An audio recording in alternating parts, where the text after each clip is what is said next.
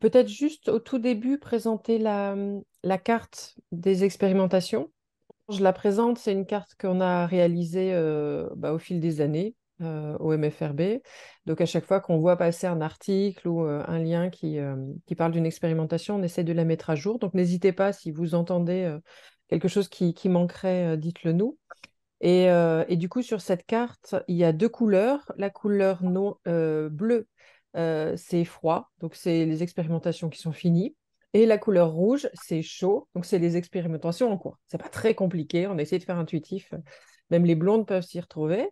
Et, et l'idée, c'est à chaque fois, il y a toujours les mêmes, repères, le, temps, quand est-ce que ça se passe, sur combien de personnes, évidemment, dans quel pays, et si on a déjà des informations sur les effets, euh, mais aussi sur le mode de financement et euh, des liens si vous voulez retrouver les articles ou les vidéos euh, correspondantes. Donc vous allez voir, c'est une carte qui est, qui est, très très riche, il y a plein de trucs dessus. donc c'est surtout intéressant si, si vous cherchez une information précise ou si vous voulez appuyer votre argumentation, vous envoyez les gens là-dessus. Rien que le fait de voir la carte et, et toutes les petites gouttes qui, qui s'affichent partout, c'est un argument en soi. Donc, donc voilà, vous allez la voir, elle est assez complète et, et assez détaillée. Après, c'est vrai que comme c'est un site gratuit, c'est du Frama qu'on remercie ici. mais il n'y a pas de mode de recherche ou quoi que ce soit, donc il faut vraiment aller cliquer un pays à la fois et dans chaque pays, dans chaque pays les, les différentes expérimentations, parce qu'il y a certains pays qui ont, qui ont plusieurs gouttes, plusieurs gouttes chaudes et plusieurs gouttes froides. Donc déjà, on commence par la France. Sachez qu'en France, il y a déjà trois expérimentations en cours. On pourra revenir dessus. Et si on dézoome, on a l'Europe qui n'est pas en reste. Et là, vous avez, euh, bah, vous avez une petite, euh, petite répartition de toutes les expérimentations euh, en cours. Et si par exemple, on va revenir sur la France, parce qu'évidemment, on est tous chauvins et on, on cocoricote tous les matins, sur celle-ci, donc Terra, euh, tous ensemble vers un revenu euh, d'autonomie. C'est une expérimentation en cours qui, marche plutôt bien d'ailleurs. Si vous voulez avoir les, détails, à chaque fois vous avez, ce, type d'information. Et cette carte, vous la trouvez, vous en trouvez le lien sur la première page du site revenudebase.info. Et donc on nourrit, qu'on nourrit régulièrement. Après, ce que je vous propose, c'est euh, un petit survol euh, synthétique euh, des effets des expérimentations. L'idée, c'est surtout de, garder du temps pour, pour, la, pour voilà, des questions, un débat. Et, et, moi, je n'ai que une connaissance assez superficielle, c'est juste la connaissance de celle qui les collecte depuis des années et qui a fait quelques articles synthétiques dessus. Alors, si je veux être rapide, en une minute, je peux tout vous résumer. Petit 1, euh, étant donné qu'un revenu de base, vérifiez qu'on est tous d'accord quand même sur la définition, c'est une somme qu'on reçoit de façon individuelle, inconditionnelle, toute sa vie, et c'est universel. Donc, première, euh, premier résumé, avec cette définition-là, on peut dire qu'il n'y a aucune expérimentation qui existe. Donc voilà, là, on arrête l'émission et on se dit au revoir. Ça, c'est la façon courte. Euh, si on accepte de mettre de côté quelques critères, comme par exemple l'universalité, évidemment, ça c'est le premier critère qui va, euh, plomber toutes les expérimentations qui existent. Si on fait un petit effort d'ouverture et, de tolérance de ce côté-là, euh, le deuxième résumé très rapide et très efficace, c'est il n'y a aucun effet négatif dans toutes les expérimentations qui ont été faites depuis les années 70 et qui sont recensées sur cette carte. Voilà. Donc, si vous voulez en savoir plus, je peux développer, mais ça, c'est les deux premières approches euh, qui permettent euh, bah, de rassurer vite fait les gens euh, s'ils ont besoin de, savoir que ça a déjà été essayé. Donc, non, et en même temps, oui. donc, très non ou très, très oui. Là, ça dépend un peu comment vous voulez continuer la conversation ou pas. Pour rentrer un petit peu dans les détails, les grandes, les grandes lignes qu'on retrouve. Donc, effectivement, il n'y a que des bonnes nouvelles et non seulement les, les, effets vont dans le sens de nos valeurs, en tout cas, c'est ce que je vais appeler comme bonne nouvelle, donc plus de justice, plus d'égalité, plus d'émancipation, etc. et mmh, une fois que qu'on a dit ça, on repère en plus que tous les effets sont répétés, donc se confirment, quels que soient les pays. C'est-à-dire que je vais, je, vais, je vais, détailler, je vais revenir dessus plus tard, mais l'effet sur réduction du stress ou ça booste l'économie, eh ben, on va le trouver autant dans des pays dits en voie de développement que dans des pays dits développés, dans des pays du Nord comme du Sud, c'est exactement pareil. Ou sur des petites expérimentations sur un, petit village ou sur une ville depuis 40 ans, on va trouver exactement les, mêmes effets. Donc on peut dire que malgré la première énorme limite, euh, voilà, la recherche et la connaissance des expérimentations est quand même intéressante. On peut quand même s'appuyer dessus parce que euh, les, voilà, les effets sont récurrents, ils sont tous positifs, quelle que soit la culture, quel que soit le pays, quelle que soit même l'organisation sociale euh, du pays. Et gardons quand même aussi en tête un biais que nous, on peut avoir en tant que Français, c'est qu'on a, nous, un système. Alors, je mets de côté le fait qu'il est démantibulé depuis euh, quelques dizaines d'années, mais même comme ça, on a encore un système social qui est assez, euh, pertinent, efficace, universel, etc. Donc, euh, voilà, ne pas oublier que nous, on a déjà cette exigence, on a déjà un certain niveau de redistribution, etc., qu'on n'est pas capable de défendre, je suis d'accord, mais en tout cas, on a déjà ça. Alors que là où euh, les, expérimentations sont sont les plus nombreuses, c'est dans des pays où il n'y a pas déjà ce niveau d'organisation sociétale et, euh, où euh, même une partie de revenu de base, même un revenu de base un peu conditionnel ou euh, pas du tout universel, etc., c'est déjà des avancées. Et, donc voilà, donc à ce titre, c'est en même temps une limite, et en même temps, c'est quand même une, une possibilité de s'appuyer pour prouver que, le revenu de base est une bonne idée, puisqu'évidemment, c'est un peu notre, notre objectif étant, étant partisan dès le départ pour le revenu de base. Donc, ce que je vous propose, c'est de, vous brosser très rapidement les grandes pistes. Vous allez les retrouver sur les articles qui sont sortis sur revenudebase.info. Euh, là, l'avantage de ce format-là, c'est que je vais vous les résumer, ce sera un peu plus rapide. Je vais vous donner quelques chiffres aussi euh, à chaque fois euh, pour appuyer. Mais sachez que pour les chiffres, vous n'êtes pas obligé de tous les écrire. Moi, mon objectif, c'est qu'ils paraissent dans la vidéo pour ceux qui préfèrent regarder une vidéo plutôt que plein d'articles. mais vous les retrouverez dans les articles. Donc, si vous voulez, ou dans la carte, si vous voulez vraiment garder les détails. Alors, la première piste que j'ai choisie, c'est celle qui répond à la grande angoisse de presque tout le monde. C'est, mais s'il y avait un revenu de base, les gens arrêteraient de travailler, ça serait une horreur, il n'y aurait plus d'économie, euh, les, boulots, personne ne voudrait plus les faire, etc. Parce qu'évidemment, tous les gens sont fainéants. Bon. Donc ça, c'est un premier, euh, un, premier blocage, peut-être sans doute le plus, euh, le plus ancré parce que il n'y a, pas d'argent, ça quand même, avec les différentes crises et les, euh, et, les grosses fortunes euh, indécentes, les gens commencent à se dire, bah, il y a quand même de l'argent quelque part. Mais c'est surtout cette, euh, cette, cette condition qu'on a dans la tête que forcément on est feignant. Et effectivement, les médias le relayent les jeunes sont fainéants, euh, ils veulent pas travailler, ou alors c'est en basket, ou c'est à leurs horaires, etc. Les femmes, évidemment, dès qu'elles ont un enfant, on peut plus rien leur demander. Euh, l'enfant est malade, ou ceci ou cela. Je vous parle même pas de leurs règles ou de leur, euh, leur hystérie, bref. les fonctionnaires, ben, on sait tous hein, maintenant que les fonctionnaires sont des feignants et qu'à 17h, ils veulent partir. Donc, en fait, en gros, ce qui ressort, parce que les vieux n'attendent que la retraite aussi, ça, ce qui ressort, c'est que si vous n'êtes pas blanc, mâle, 30 euh, ans et euh, ingénieur, vous êtes feignant. En tout cas, euh, soupçonné d'eux. Et en fait, on voit que quand on donne aux personnes la possibilité de dire non à un emploi, eh ben, elles travaillent plus.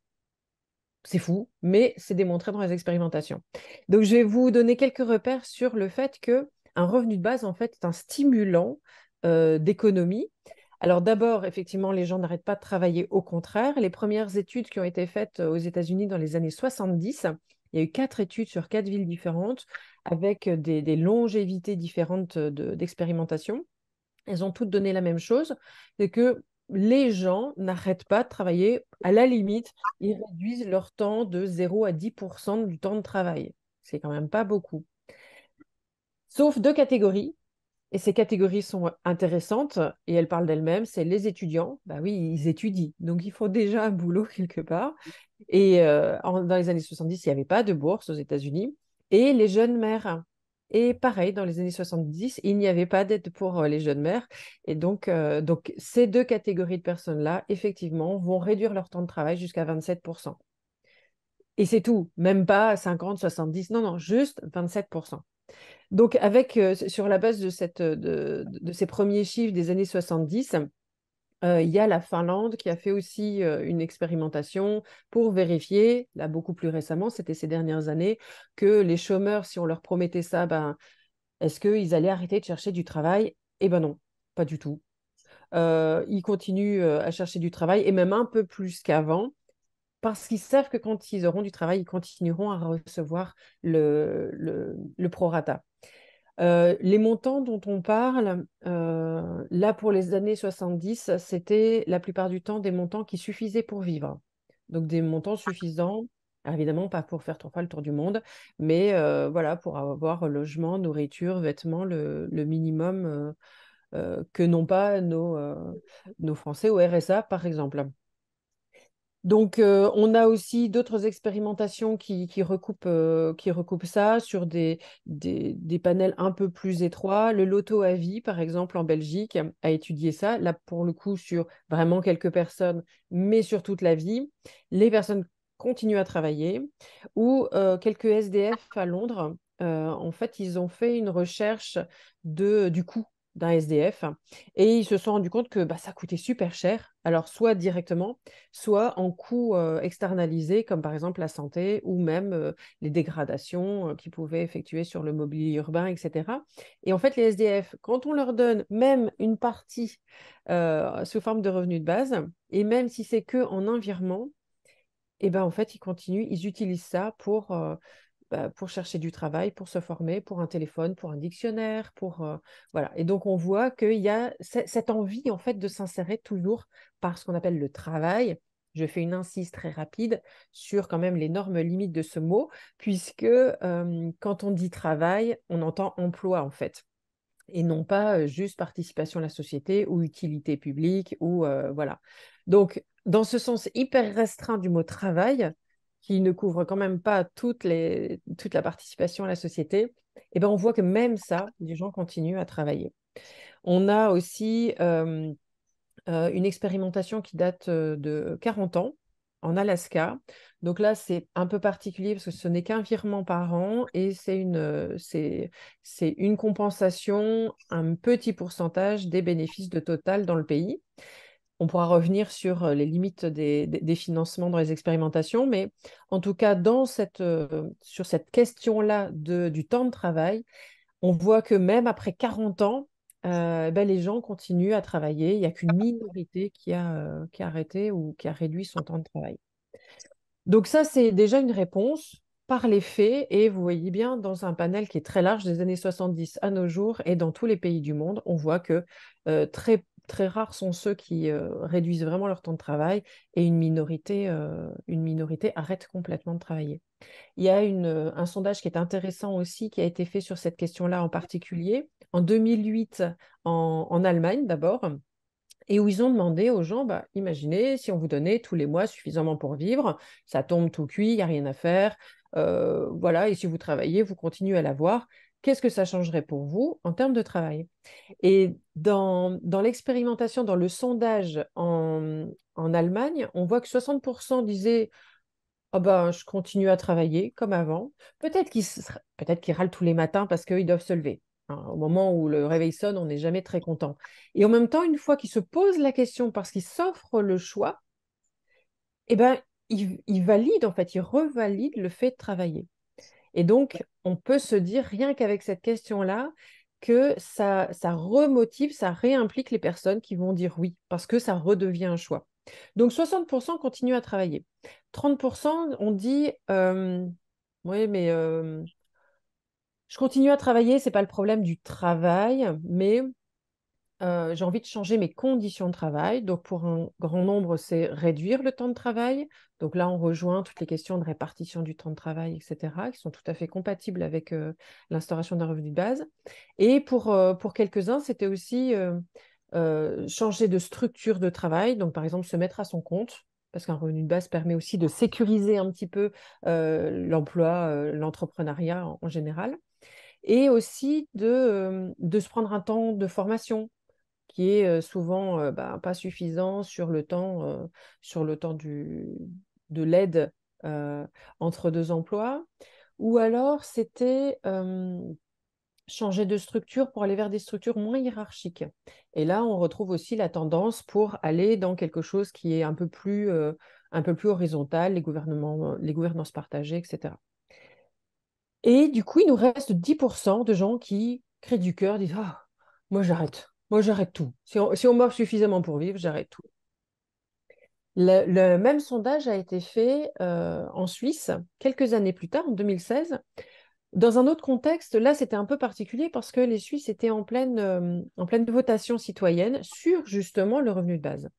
Et la différence, euh, et c'est analysé comme ça, la différence entre les deux sondages est sans doute due au fait que les personnes connaissaient déjà la question, c'était déjà eux-mêmes et du coup avaient anticipé plusieurs, euh, plusieurs échéances à cette question. On retrouve les 60% qui disent je continue à travailler comme avant.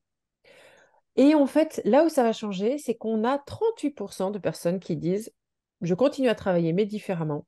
Et on n'a plus que 2% qui disent oh, j'arrête tout, j'en peux plus. Et si on compare ces chiffres-là avec le taux sans doute sous-estimé de burn-out en Europe occidentale, c'est à peu près 10%. Donc vous voyez qu'il euh, y aurait sans doute moins euh, d'arrêts pour burn-out si les gens savaient qu'ils étaient sécurisés. Peut-être qu'ils s'arrêteraient avant, etc. Bon, après, c'est euh, des conjonctures. Mais on voit que sur, sur deux pays proches culturellement, mais quand même sur huit ans d'écart, et juste avec ce décalage de je connais l'idée, je m'y suis habitué ou je m'y suis pas habitué, bah, il y a encore moins de gens qui disent qu'ils s'arrêtent de travailler. Donc ça, euh, ça, permet de répondre un petit peu à, cette première angoisse un peu, euh, euh, préfabriquée par, par les médias et, notre culture que l'homme serait feignant. dans l'absolu, on peut tous imaginer qu'on a envie de partir demain en vacances, mais que au bout de trois, quatre, allez, on va même dire six mois de chaises longues au bord de la plage, on s'ennuie, quoi. Et on a besoin de, participer, d'avoir des liens, d'apprendre, etc. Toutes ces, euh, toutes ces motivations qu'on retrouve au travail quand on nous laisse le choisir. Donc ça, c'est voilà pour mettre un peu de côté la, plus grande, la plus grande angoisse. Et la deuxième angoisse qui vient juste après, c'est si les gens arrêtaient de travailler, même si on voit que ce n'est pas le cas, bah, l'économie s'effondrerait. Et la deuxième réponse que les expérimentations nous apportent, et de façon unanime, c'est qu'au contraire, l'activité économique explose. Alors, on a un exemple qui est très ciblé, mais très, euh, très, euh, euh, très efficace. C'est un, village de Namibie, 1000 personnes, un village rural assez isolé, et donc avec un périmètre assez facile pour, bah, pour évaluer justement euh, le, taux de monnaie en circulation, par exemple, etc. Dans ce village, après seulement 18 mois d'expérimentation, on a plus 300% de masse monétaire en circulation, au-delà de ce que le revenu de base a, été, donné. Donc ça veut dire qu'il y a eu 300% d'importation de masse monétaire.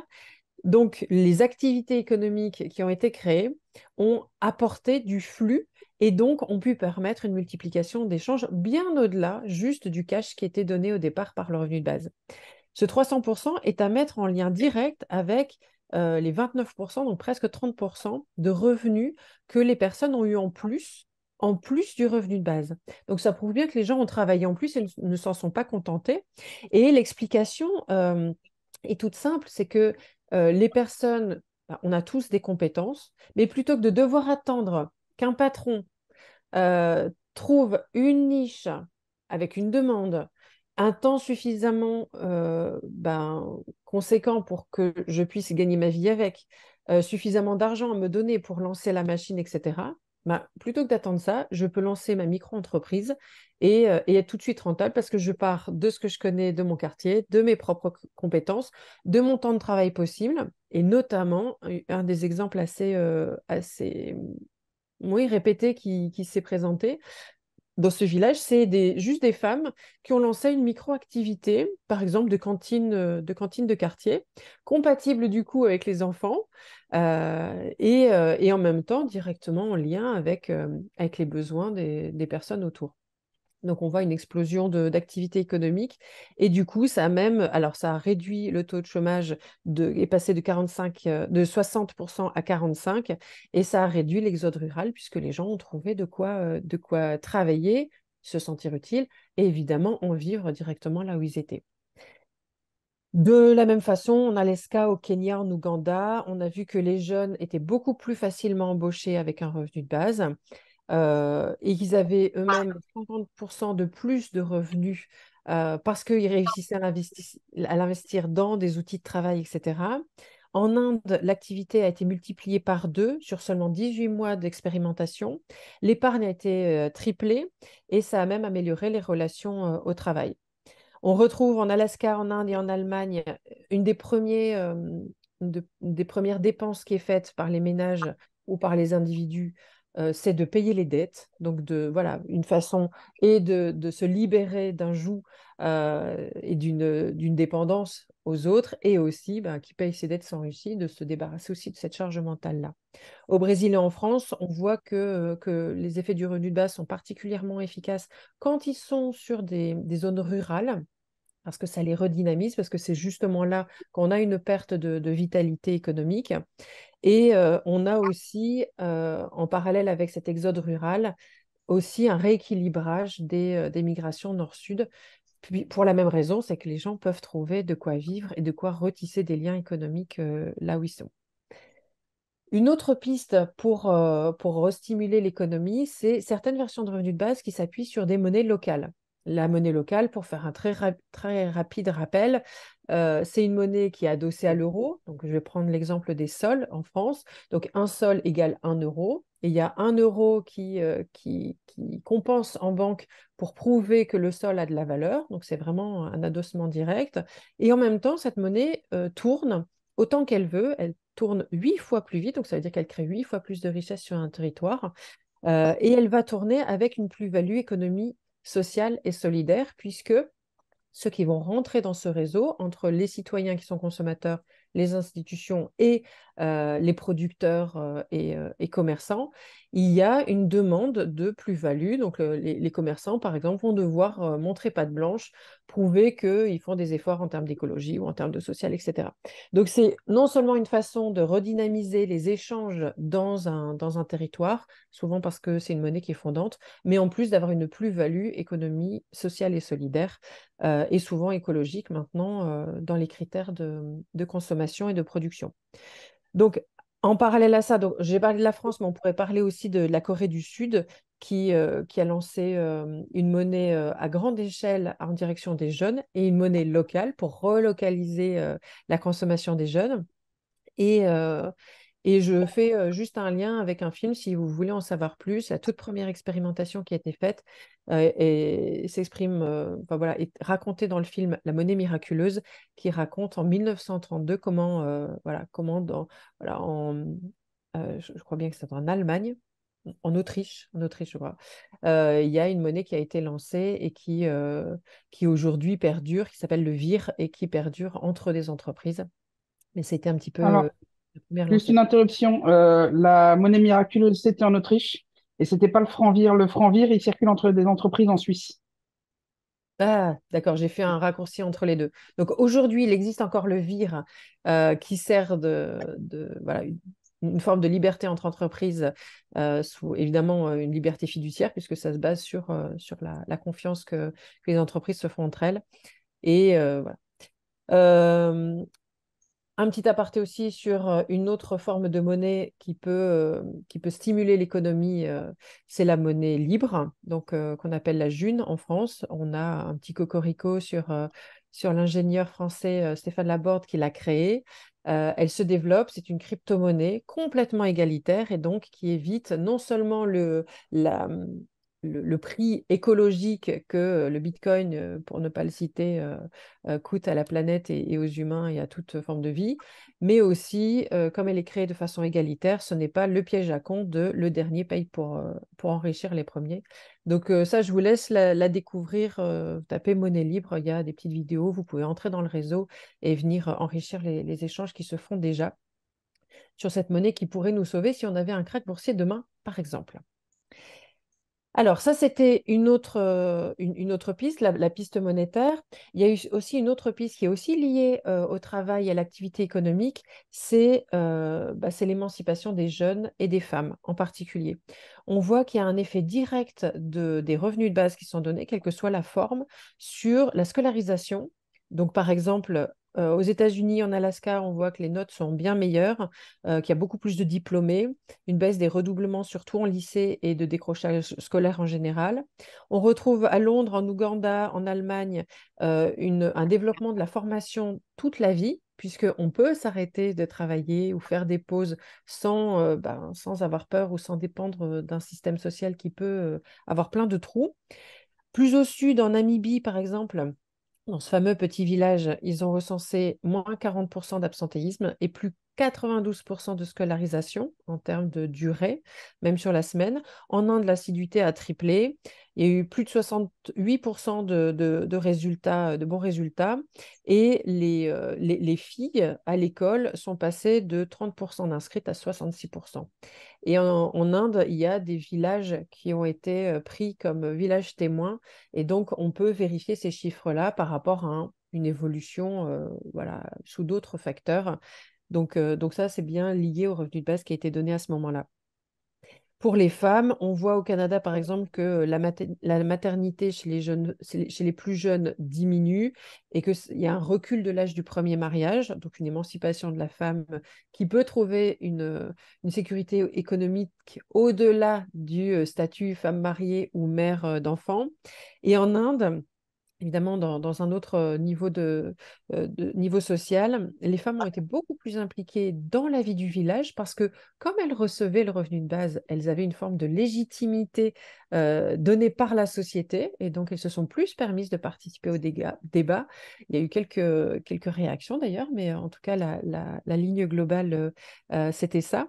Et au point qu'elles ont créé, avec l'aide d'un syndicat qui était déjà, est déjà implanté, qui a travaillé avec l'UNICEF hein, autour de cette expérimentation, elles sont allées renégocier des, euh, augmentations de salaire qu'elles ont obtenues. Et, euh, et, donc voilà, donc il y a vraiment une émancipation dans le cadre du travail, dans le cadre de la famille, principalement des jeunes et, des femmes qui sont les, grands perdants euh, du système de l'offre et de la demande. Sur ce thème-là, c'est là, qu'on trouve la seule pseudo-fausse nouvelle du revenu de base. Euh, après les quatre expérimentations aux États-Unis, c'est le nombre de divorces.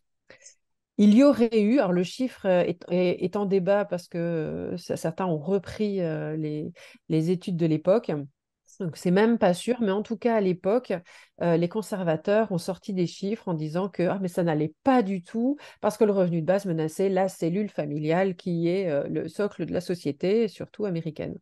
Et donc, ils ont sorti des chiffres du nombre de divorces qui a explosé depuis qu'on accordait euh, aux femmes, bah, finalement, c'est ça, une sécurité financière en dehors du, du mariage. Alors, c'est à nuancer d'abord parce que les chiffres apparemment ne sont pas si vrais que ça. Euh, ensuite parce que, euh, évidemment, il y a eu exagération politique à l'époque, mais ça a marché puisque Nixon, à l'époque, a laissé tomber les expérimentations, qui étaient pourtant très prometteuses. Et surtout, dans l'expérimentation qui est la plus longue sur les quatre, qui a duré 11 ans, on voit que le nombre de mariages remonte. Et donc, ça pourrait bien montrer que ce n'est absolument pas l'institution du mariage, si jamais il fallait la défendre quelque part, qui était en jeu à cette époque-là. C'était juste que les femmes n'avaient aucun revenu, euh, sauf le travail, et encore quel revenu, euh, si ce n'est eh ben, un mari, et euh, souvent elle restait à la maison, etc. etc. Donc elle restait mariée, coûte que coûte.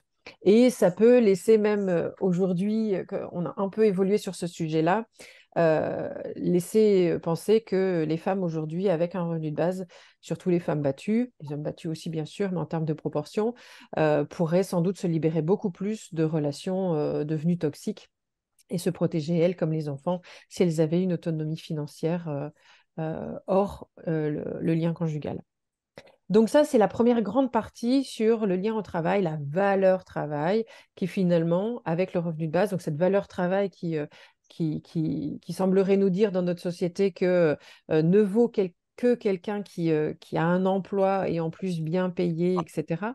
Cette valeur travail, finalement, se, se retrouve revivifier parce que quand on choisit son emploi, on choisit plus son travail, on s'y investit plus.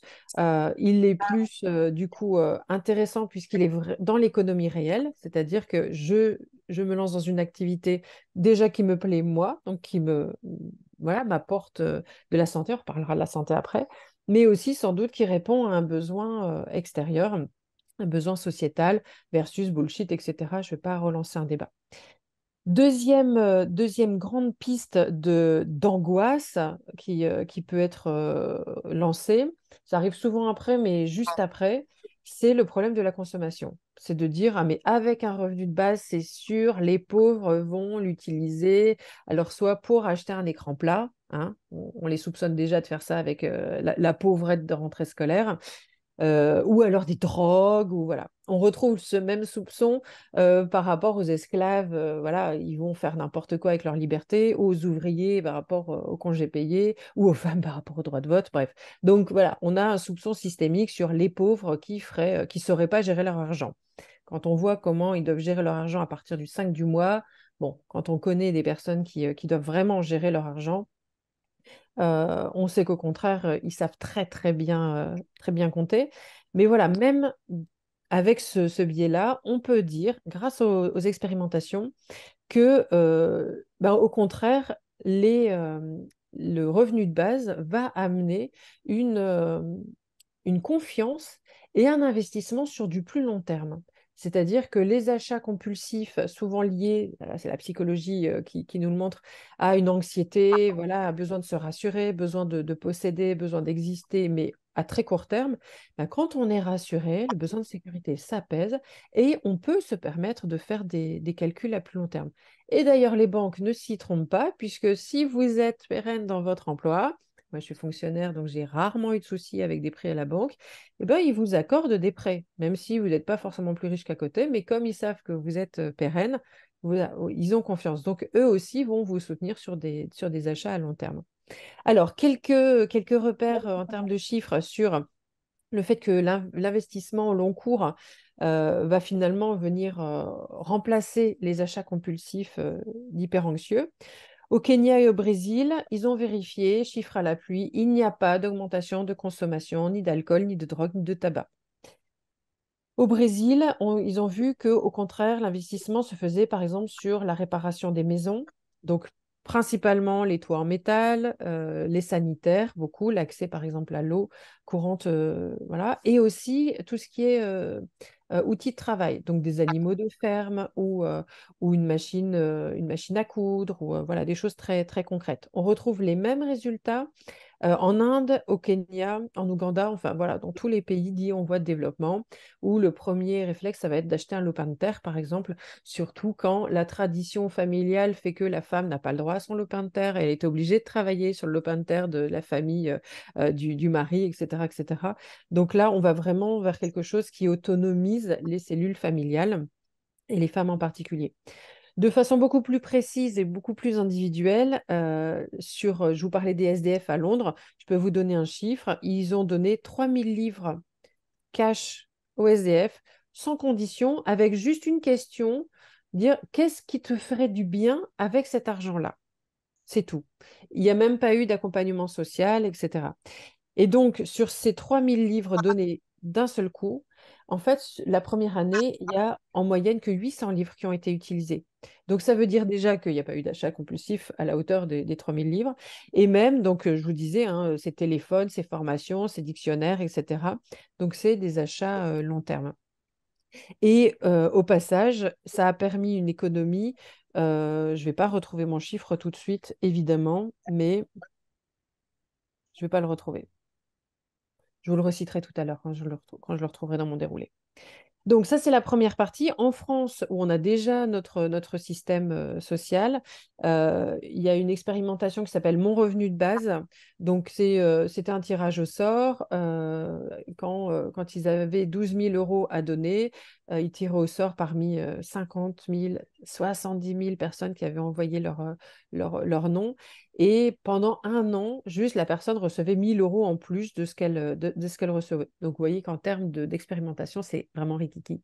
Mais en fait, pareil, les, euh, les, résultats sont exactement les mêmes que euh, au loto à vie en Belgique, etc. C'est euh, de, de, de l'investissement sur le permis voiture, par exemple, ou la voiture pour aller travailler de, des travaux à la maison, par exemple. Donc, on retrouve, euh, même si les échelles sont différentes, les mêmes postes de, dépenses, des aides aux proches, un peu faire la fête et ponctuellement le coiffeur et un restaurant. Voilà, des choses qui, euh, qui arrivaient et qui sont vues en fait comme du luxe qu'on peut se permettre ponctuellement quand on peut avoir euh, un petit surplus. Deuxième grande piste, c'est l'émancipation de la peur et de la précarité qui, qui en fait enferme les personnes dans euh, bah, justement dans des, dans, dans des stratégies court-termistes parce que c'est bah, le bout du mois qu'il faut réussir à avoir et des achats long terme c'est pas pour nous. Alors une maison être propriétaire on n'en parle même pas. Euh, les études des enfants bah, on verra quand on y sera parce que là pour l'instant on peut pas mettre euh, un sou de côté. Donc on voit que le revenu de base je prends l'exemple de l'Alaska par exemple où ils ont une expérimentation depuis 40 ans, même si c'est largement insuffisant pour vivre, hein, c'est un ou deux versements par an euh, maximum, de euh, l'équivalent, euh, on dirait aujourd'hui, de 2000 euros. Même si ça change un petit peu chaque année. En fait, ils ont montré que les, citoyens étaient plus autonomes économiquement, qu'il y avait une meilleure gestion des flux individuels et, familiaux, notamment en termes de, prêts et de, de, paiement des prêts. En Caroline du Sud, il y a une expérimentation que j'aime beaucoup qui concerne les Cherokees. Les Cherokees sont, sont en réserve et ils ont un super méga casino. Alors évidemment, comme mode de financement, c'est pas super top. Hein, c'est un peu comme l'Alaska. Et en même temps, on a quand même du coup une expérimentation depuis 40 ans qui permet d'avoir des, résultats euh, pérennes, très circonscrits en termes de périmètre, puisque c'est une communauté qui vit beaucoup euh, entre elles. Et donc, on a des chiffres très, très précis, euh, notamment sur l'émancipation. Donc, il y a 50% des Cherokees en moins euh, sous le seuil de, pauvreté depuis 1996, le début de l'expérimentation, et une baisse de l'abstention, notamment chez les jeunes. Et donc là, on peut imaginer, on peut développer ça en disant que le revenu de base, en fait, c'est un vrai contrat social. La société donne un revenu de base pérenne à chaque individu, le reconnaissant comme partie prenante de la société, donc comme citoyen, de sa naissance à sa mort. Et du coup, ça revitalise, mais sans, que ce soit ni exigé, ni même demandé, ça revitalise l'implication du citoyen en retour vers sa société. Donc plutôt que d'attendre toujours que les gens fassent l'effort pour mériter d'avoir un retour, ben, quand on leur donne même un minimum, même s'il n'est pas vital, suffisant pour, euh, parce que euh, chez les Cherokees, il n'est pas suffisant pour vivre, bah, même ça, ça suffit pour euh, retisser du lien euh, et de l'implication citoyenne. On voit aussi que partout, il y a eu des expérimentations. En fait, ces expérimentations se multiplient, ça, ça partout. Donc, au Brésil, par exemple, euh, il y a une expérimentation lors de laquelle, sachant que ça allait se terminer, euh, les citoyens eux-mêmes ont monté tout un système de microcrédit entre eux, autogéré, en démocratie directe, qui est devenu aujourd'hui un fonds permanent, indépendant, qui gère, qu'ils autogèrent et qui distribue entre eux. De même, au Kenya, euh, les habitants ont revitalisé une tradition qu'ils ne faisaient plus, c'est la fameuse tontine grâce aux revenus de base, ils ont, euh, ils ont pu relancer cette, euh, cette solidarité euh, collective. En Namibie, donc juste en 18 mois d'expérimentation, ils se sont après organisés en association pour pouvoir défendre dans d'autres villages autour bah, ce qu'ils avaient vécu, justement pour que ça puisse se pérenniser. Et ça a été jusqu'à ce que le, le porteur du projet devienne ministre du Travail. À ma connaissance, il n'a pas réussi à l'installer euh, au niveau étatique, mais vous voyez comment euh, bah, ça, fait des petits. Au Canada, suite à l'expérimentation euh, qui s'appelle Mindcom, qui, était sur deux villes assez conséquentes, il y a eu d'autres aides qui ont été créées, même si un changement politique a fait que l'expérimentation a été mise de côté. J'y reviendrai. Et aux Pays-Bas, aujourd'hui, il y a 30 villes qui sont en réflexion pour une forme de revenu de base, suite, et en Italie, pareil, suite à, des petites expérimentations au niveau municipal. Deuxième grand pan sur, sur le côté consommateur citoyen, euh, j'arrive maintenant à la troisième grande partie. J'ai fait une, dissertation en trois parties, hein, trois parties, trois sous-parties euh, du formatage français. C'est la question de la sécurité individuelle euh, jusqu'à la santé publique et même bah, la paix sociale en fait.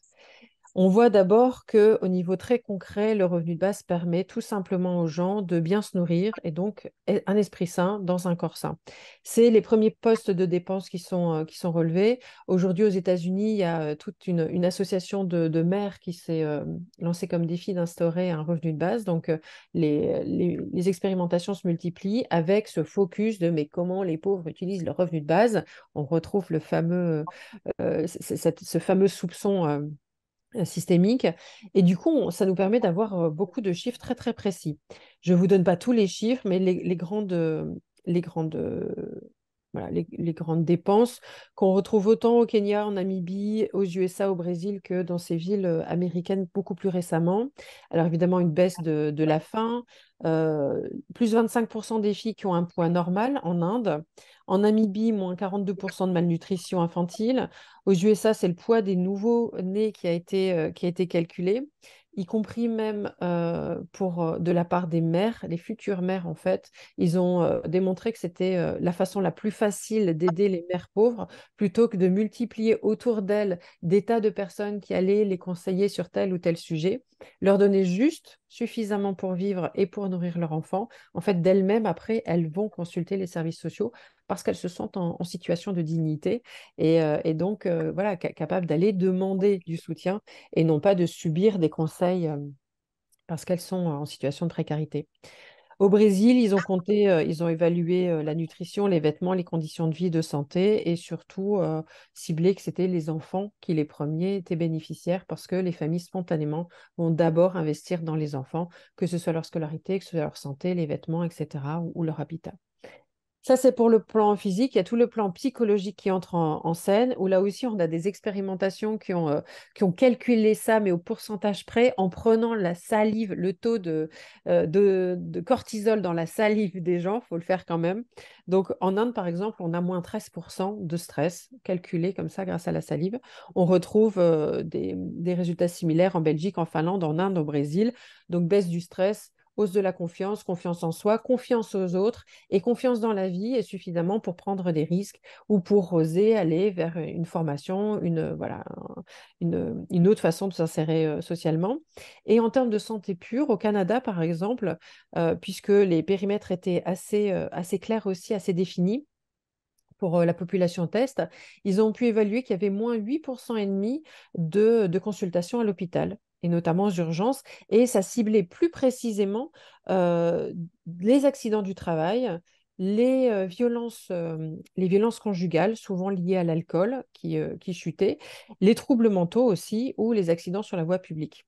En parallèle de ça, on peut voir, du coup, on a déjà la piste de la baisse de conflits, en fait. Si les gens se sentent mieux, bah, ils, sont moins, ils sont moins en conflit avec le voisin, avec le mari, avec ou même avec les enfants. Donc les violences euh, éducatives ont baissé, par exemple, chez les Cherokees. La criminalité, pareil, surtout, surtout celle des jeunes. Donc il y a plus de paix sociale.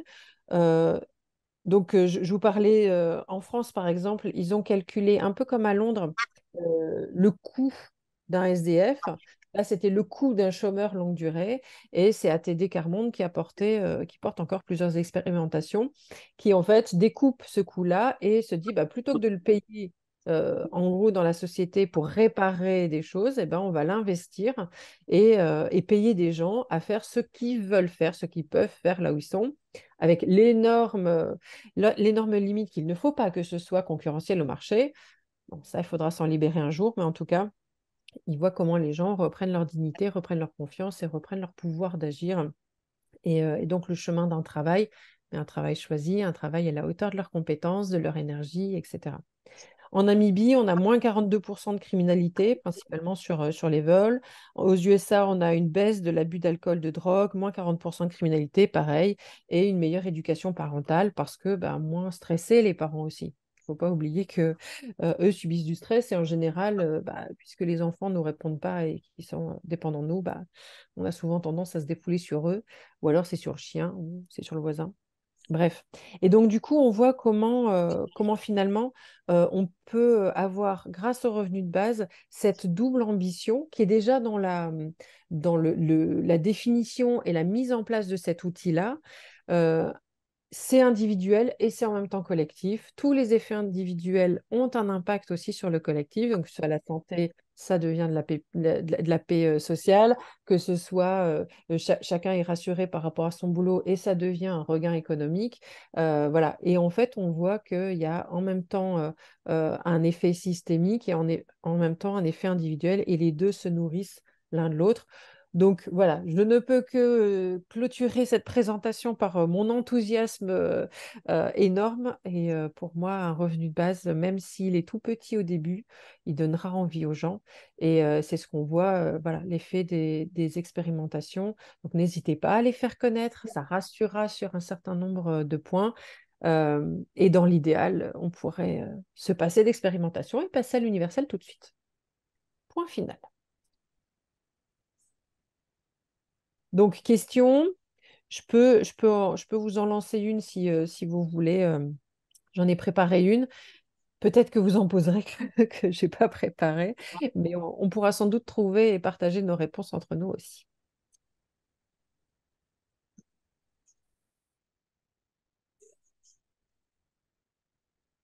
Ton micro, Henri. Ah oui, ça marche mieux comme ça. Donc, merci Virginie. C'était dense, c'était complet. Et maintenant, euh, on va passer la parole à la salle parce que je suis sûr que euh, ça a interpellé plein de gens qui vont avoir euh, des questions à te poser. Donc, allez-y, on vous écoute.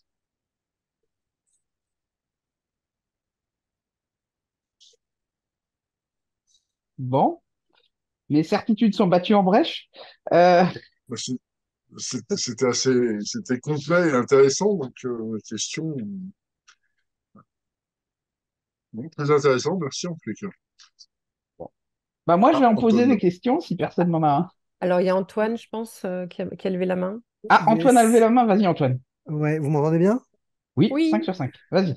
Euh, tout d'abord, bah, merci euh, beaucoup. J'avoue que je connaissais pas la carte et que ça fait longtemps que je cherche à chaque fois. Je dis oui, mais il y a une expérimentation à Londres et tout. Je sais jamais où retrouver les trucs. Donc là, Déjà, rien que ça, je suis heureux parce que je cherchais justement, je ne savais pas que je me disais, faudrait créer un document comme ça et il existe. Voilà, non, mais c'est ça ce qui est magnifique au MFRB, c'est que souvent on a besoin d'un truc et ça fait des fois des années qu'il existe et on n'est pas juste au courant.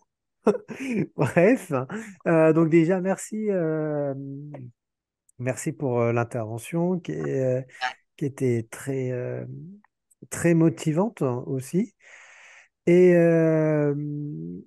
en fait, j'ai envie de. C'est, il n'y a pas longtemps, j'ai eu une, conversation avec un copain où je lui disais en, en, moins bien, mais je lui disais à peu près la même chose, à savoir qu'il n'y avait que des avantages à revenu de base.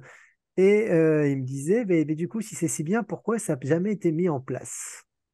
Et, et j'aimerais bien savoir s'il y a euh, des, éléments de réponse que toi, tu aurais quand on te pose cette question-là. Comment, euh, comment est-ce que tu réagis? Voilà. C'est exactement, euh, j'ai envie de dire, le, leitmotiv tout le temps de cette présentation que je me suis fait aussi en tête. C'est si, c'est si bien, pourquoi ça n'est toujours pas en place? Tout à fait. Alors, je, peux proposer une réponse. Je pense que vous en aurez d'autres aussi, et j'ai vraiment envie que ce soit que ce soit collectif. Mais comme ça recoupe un petit peu la question que j'avais préparée, ce que je vous propose, c'est que je vous fasse ma réponse complète, histoire de, de vous en imposer évidemment un petit peu, parce que je, gagne beaucoup de reconnaissance avec vous, merci. mais mais il y a, y, a, y a, des limites aux expérimentations déjà. Euh, il y a par exemple l'expérimentation au Canada qui est assez révélatrice là-dessus. Euh, donc l'expérimentation Minecom euh, sur deux grosses villes, euh, très impressionnante, avec beaucoup de questionnaires, de suivi au fur et à mesure, beaucoup de personnes concernées, etc. Donc quelque chose qui a été très très sérieux. Et en fait, l'expérimentation a été enterrée purement et simplement par un changement politique. C'est-à-dire qu'il y a eu, bah, c'est passé de gauche à droite, quoi, en gros, pour faire très vite avec nos, nos repères français. Et du coup, ah non, ça coûte trop cher, on vire. Et personne n'a n'a exploité toutes les données qui, avaient été remontées au fil des questionnaires psychologiques, des chiffres, etc. Personne, on n'avait aucun chiffre de ces deux expérimentations, enfin de ces deux villes, quoi. Pourquoi? Parce que ceux de gauche, je vais caricaturer, hein, mais ceux de gauche qui avaient stimulé ça se disaient Ah merde, ça a raté, il faut surtout pas que ça se sache. Donc il ne faut pas creuser les chiffres parce qu'on risquerait de voir que ça ne marche pas. Et ceux de droite se sont dit l'inverse. Ils se sont dit, oh, mais ça a trop bien marché, il faut surtout pas que ça se sache, donc on ne peut pas euh, chercher dans, tous les cartons, etc. Heureusement, il y a, euh, il y a une chercheuse qui, s'y est collée. Euh, et, quand on la voit interview, on est dans des, mais dans des rangées de cartons, c'est innommable. Mais elle s'est attelée à la tâche et grâce à elle, on commence à avoir de, des chiffres et, qui viennent conforter. Donc ça, c'est la première réponse, c'est que politiquement, c'est comme aux États-Unis dans les années 70, il aurait pu y avoir une forme de revenu de base, euh, alors plutôt impôt, euh, impôt négatif à l'époque, mais sous Nixon, quoi.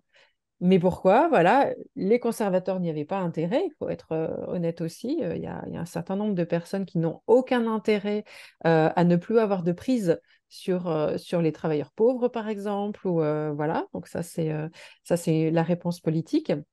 Et du coup, bah, là, dans les années 70, il a suffi de, de, de, voilà, de, le chiffon rouge, c'était le nombre de divorces, c'était euh, la, cellule familiale qui s'écroulait et toute la société américaine évidemment avec. Donc, euh, donc voilà. Donc il y, a surtout derrière un manque d'information euh, plus global, puisqu'aujourd'hui les municipalités euh, américaines qui se lancent dans, dans, dans, voilà, dans une expérimentation, et elles sont de plus en plus nombreuses, non seulement s'appuient sur les autres expérimentations, sont plus pertinentes aussi dans la mise en place selon leur propre budget, selon leur propre population, etc.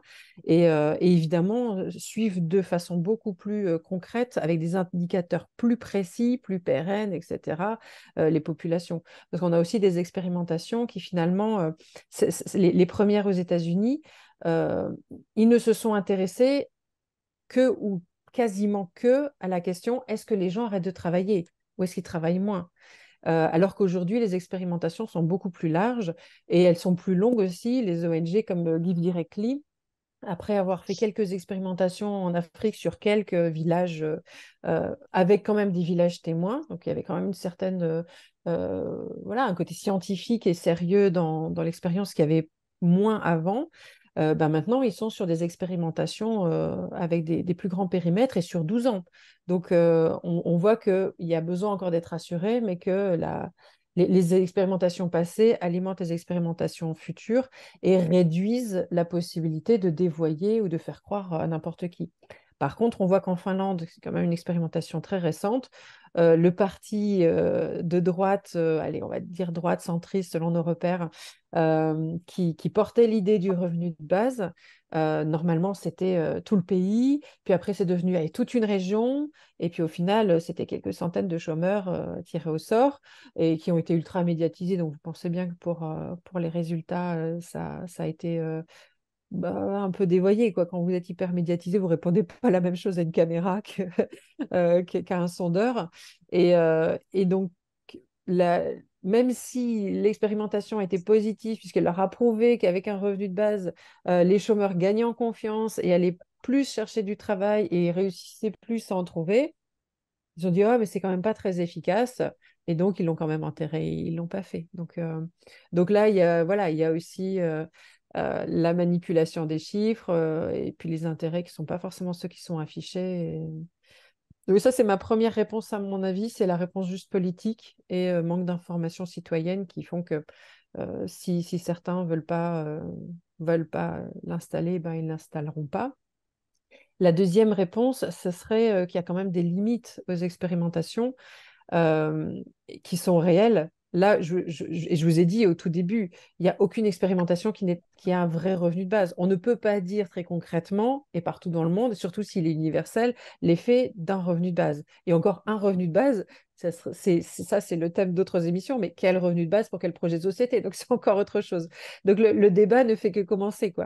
Euh, les expérimentations, la plupart sont pas pérennes. Il n'y en a que deux qui sont sur vraiment du long terme. C'est celle en Alaska et celle dans la, dans la réserve Cherokee, où là, on a vraiment des chiffres sur 30, 40 ans.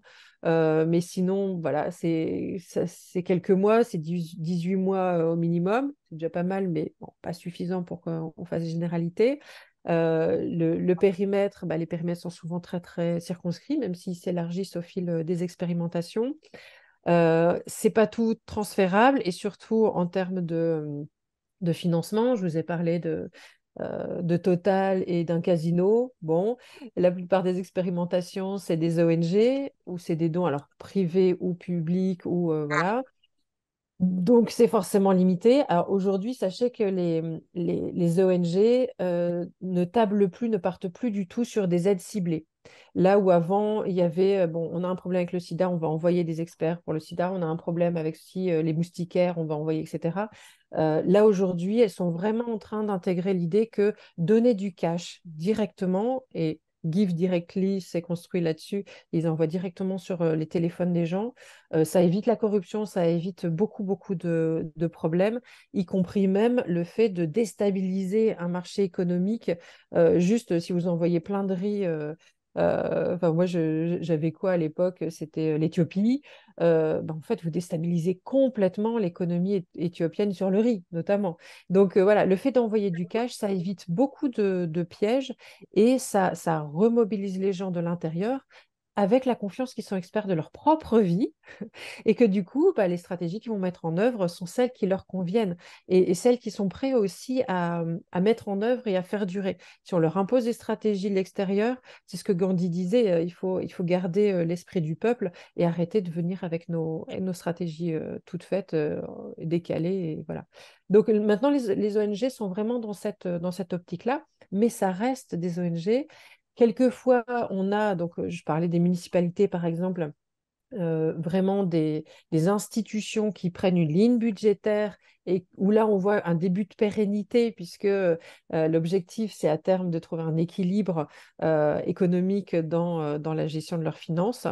on le voit, on l'a vu déjà un peu en France avec les expérimentations de Grande Sainte qui, pareil, font fait des émules un peu partout en France sous de diverses formes avec la limite qu'on part déjà assez haut en termes de sécurité euh, sociale.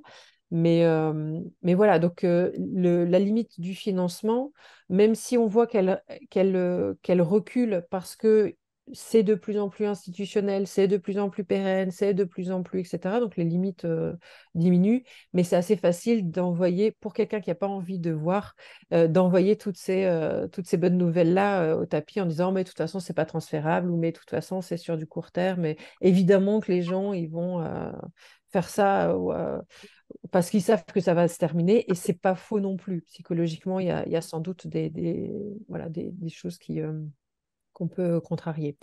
À ça, moi, je, répondrais pour défendre quand même euh, les expérimentations, euh, au moins celles qui ont eu lieu, même si je rêve qu'on n'en ait plus besoin et qu'on passe à quelque chose de plus systémique, c'est que, bah, je vous l'ai dit au début, les données rassurent, euh, voilà, parce qu'elles répondent de façon très concrète à des angoisses qui ne sont pas fondées. Ensuite, ça donne l'exemple et même de plus en plus, euh, euh, les institutions ou les ONG ou même les individus sont prêts à, donner pour que euh, ça, se, développe.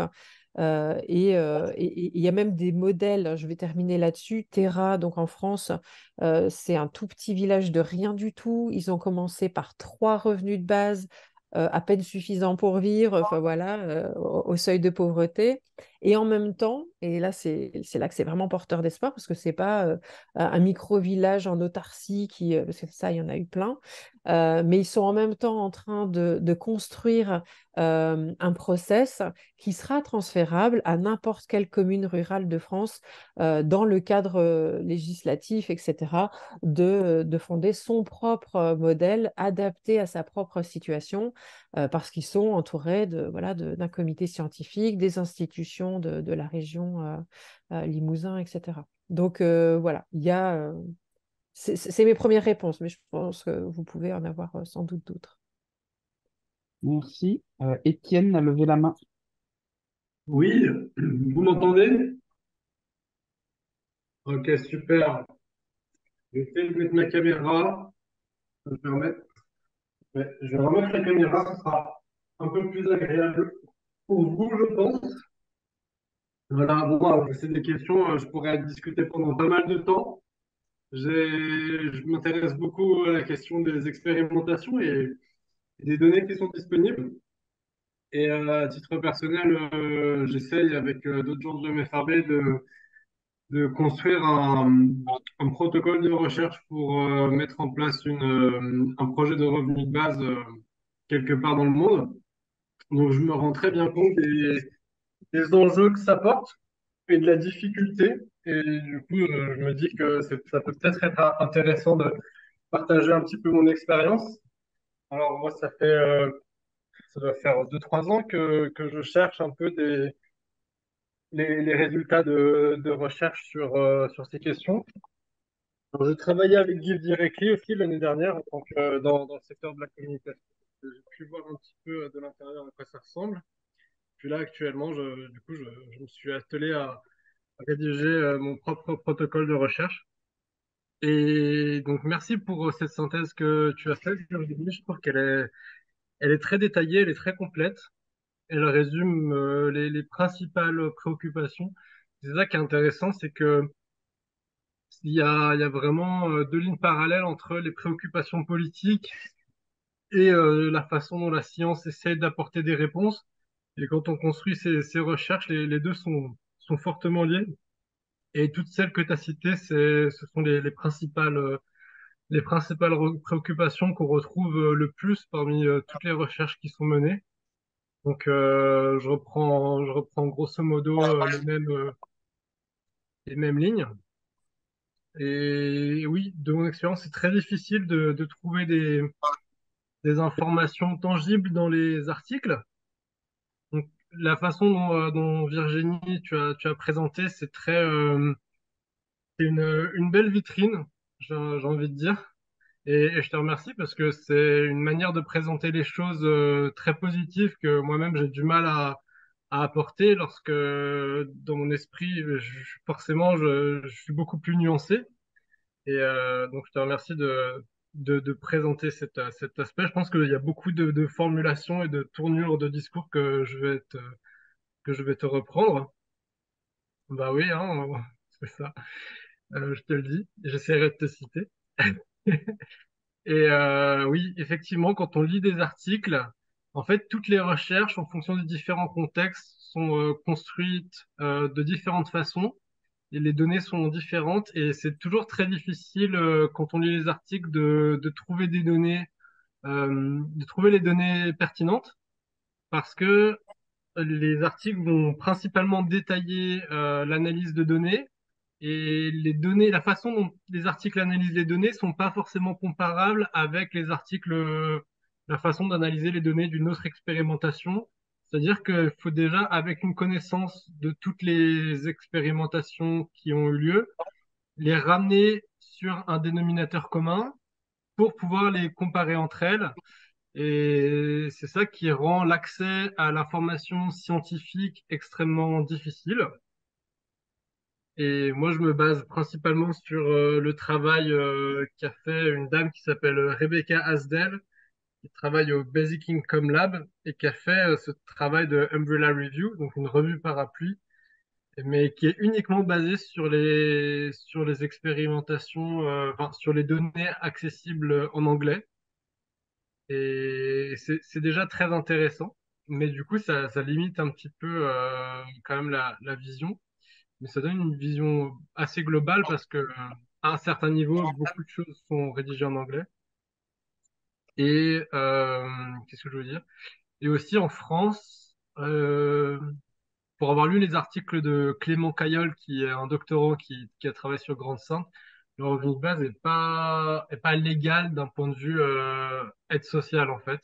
Du coup c'est ce genre de contrainte qui fait aussi que forcément il y a mais il retrouve aussi, euh, ça, ça saute aux yeux, c'est euh, 60% de nouveaux postes de dépenses consacrés à l'alimentation. Donc il y a des choses comme ça qui vont vraiment sauter aux yeux, notamment sur l'alimentation, l'éducation, la santé, effectivement très peu de très peu de baisse de temps de travail. Et, et voilà, donc c'est pour donner ça, ça c'est mon, expérience. Je connais pas la tienne en détail, Virginie. Je sais pas depuis combien de temps tu, tu dis tout ça, mais euh, voilà, j'espère que ça que mon intervention aura été enrichissante. Merci beaucoup. Merci, et c'est vrai que j'ai pas du tout développé euh, l'expérience de Grande Sainte et le travail de, de Clément Caillol. Par contre, euh, je l'ai interrogé, euh, il y a tout un podcast avec lui où, euh, il précise ça et où du coup il fait une, réflexion sur euh, bah, est-ce qu'il faut passer par une expérimentation ou est-ce qu'il vaut mieux éviter parce que bah, c'est aussi un risque de bah, que ça s'arrête. c'est bête, mais c'est comme ça. Donc vous retrouverez le podcast sur le site aussi parmi les porteurs de version. Euh, moi, j'ai juste envie de vous témoigner de, Alors, c'était un tout petit truc. On a travaillé à Lille avec le groupe Génération euh, qui se, qui se présentait avec les Verts. euh, alors, contre Martine Aubry, qui, qui se dit socialiste. bon, pour être juste à côté, je peux vous dire que toute sa politique n'est pas socialiste et qu'il y a un certain nombre de points. Notamment sur les transports ou sur l'eau, où elle aurait pu faire euh, de la régie publique. Enfin bon, bref. Donc, euh, aux dernières municipales, les Verts et Génération se sont portés euh, contre elle. Et on a fait tout un travail sur une, une expérimentation de revenu de base. Donc, dans leur programme, il y avait ça. Et, et ce qui était très intéressant, c'était pas tant, bon, les élections, ils ont perdu à 200 voix près. Bon, sur une ville comme Lille, on se dit c'était vraiment pas beaucoup. Mais, euh, mais ce qui a été vraiment super, plus intéressant, ça a été de construire avec les citoyens, euh, là en l'occurrence de leur liste plutôt, hein, mais euh, à quoi pouvait ressembler, pourrait ressembler une expérimentation. Et surtout, j'ai trouvé qu'ils étaient très réactifs sur les, les, les indicateurs. Alors, évidemment, le, le, le, le- le nombre d'euros qu'on peut donner à qui, etc. Bon, ça, ça, ça, moi, ça me correspond pas du tout. C'est pas du tout dans mes, dans mes connaissances. Et, euh, et moi, j'ai pas travaillé sur ce biais-là. Et la plupart des citoyens vont déléguer ça euh, à leurs élus ou des spécialistes parce que euh, bah, c'est quand même des, des- questions très pointues. Par contre, pour mobiliser des gens sur une expérimentation en amont, Étienne, je te dis ça parce que je me dis qu'un protocole euh, gagnerait sans doute à garder une marge de, co-construction avec les gens en amont.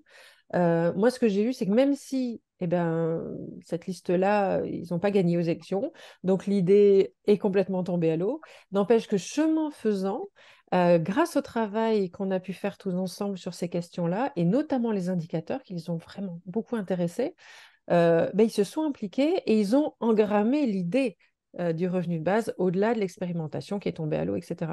Et donc j'ai vraiment, euh, moi, gardé ça de...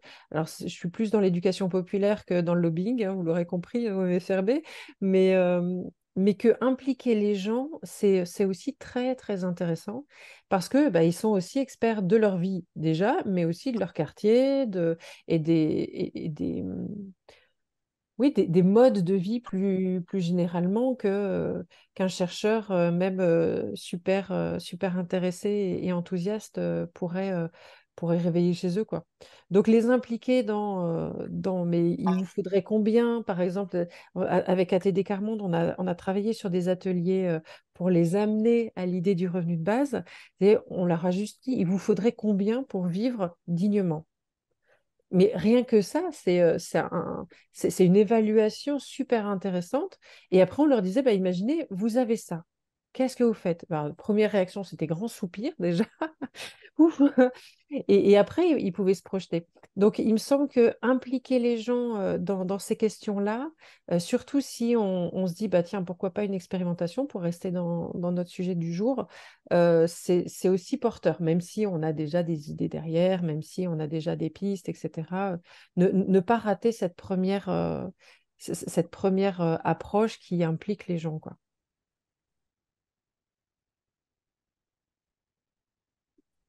Merci. Merci beaucoup. Alors, je vois Monette qui lève la main. Oui, peut-être que j'ai pas bien entendu ou pas bien retenu, mais j'ai l'impression que toutes ces expérimentations, c'était surtout sur des familles très modestes. Et est-ce que, parce que si j'ai bien compris, moi, le revenu universel, c'est tout le monde qui touche, même les familles plus aisées. Et est-ce qu'il y a eu quelque chose de fait là-dessus?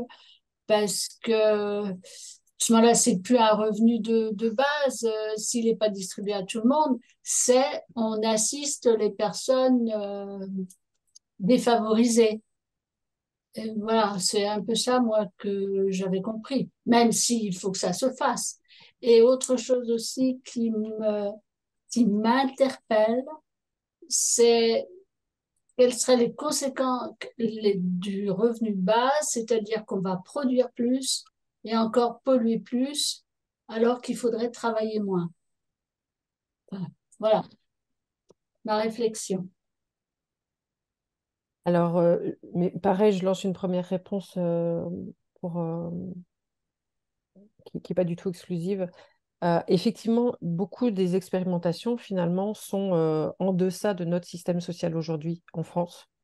Ce qui est intéressant, c'est que bah, elles sont chiffrées, elles sont accompagnées, elles sensibilisent des gens déjà aux aides et, à leurs effets.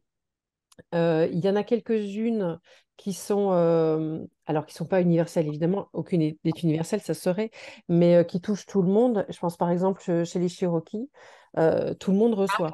En Alaska, tout le monde reçoit. Il n'y a pas de conditions de, de revenus. Il y en a quelques-unes, quelques expérimentations où les villages qui sont ciblés sont globalement pauvres, mais à l'intérieur du village, tout le monde le reçoit. Donc, euh, je rejoins dans le sens où la plupart euh, ciblent, notamment les, les villes américaines en ce moment, elles ciblent les personnes les plus précaires, euh, mais, mais pas que. Et, et par rapport à, à la production, en fait, c'est aussi une des... Ce qui est intéressant par rapport aux chiffres sur la consommation, c'est qu'on voit que les gens consomment moins de façon compulsive et, et plus des, des- des produits de longue durée, de longue utilité.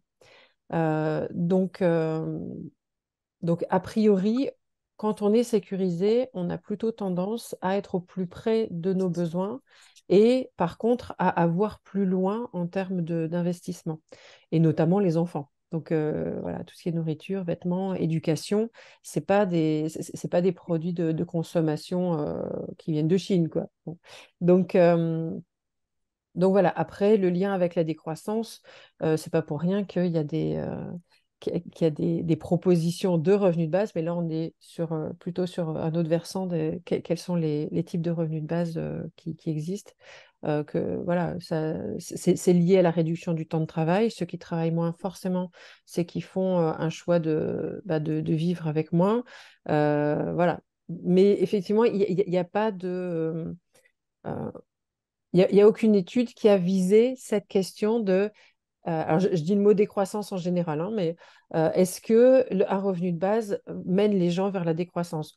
Moi, j'en suis persuadée parce que euh, bah, déjà, on a déjà les, premières réponses sur les types de consommation euh, qui, qui émergent. Et en plus, je vois que quand je, quand je pose la question, parce que ça fait dix ans que, que je suis MFRB et que je, je questionne tous azimuts les gens euh, avec la question, bon, et avec un revenu de base, qu'est-ce que ça changerait pour toi? Euh, il ne faut pas tomber dans un, dans un covoiturage avec moi, vous êtes foutu, enfermé dans une voiture. euh. Et en fait, je me rends compte vraiment que les résultats de, du sondage germano-suisse sont au moins dépassés en France avec tous les gens que j'ai pu rencontrer. Et je ne vais pas dire un chiffre, je ne sais pas combien, mais en disant quand même pas mal. Euh, Il y a, beaucoup, euh, le 60% est largement, euh, largement confirmé. Après, je vois beaucoup de gens qui, qui changeraient leurs conditions de travail pour travailler moins. Et, et dans, dans toute ma carrière de ferbiste, euh, j'en ai rencontré trois qui m'ont dit j'arrête de travailler ferme. Là tout de suite maintenant et, pour toujours. Enfin voilà, et notamment bah, un, gars qui venait des îles et, et, pour qui le rythme actuel ici en France n'était pas du tout adapté. un autre qui était qui un resto et qui n'en pouvait plus, qui était au bord du burn-out. Mais donc voilà, moi j'ai vraiment l'impression que de, ce qui ressort de ça, c'est que ça redonne du pouvoir d'agir, ça rassure, et du coup, il y a, y a, moins cette course à la consommation parce qu'il y a moins besoin, quoi, tout simplement.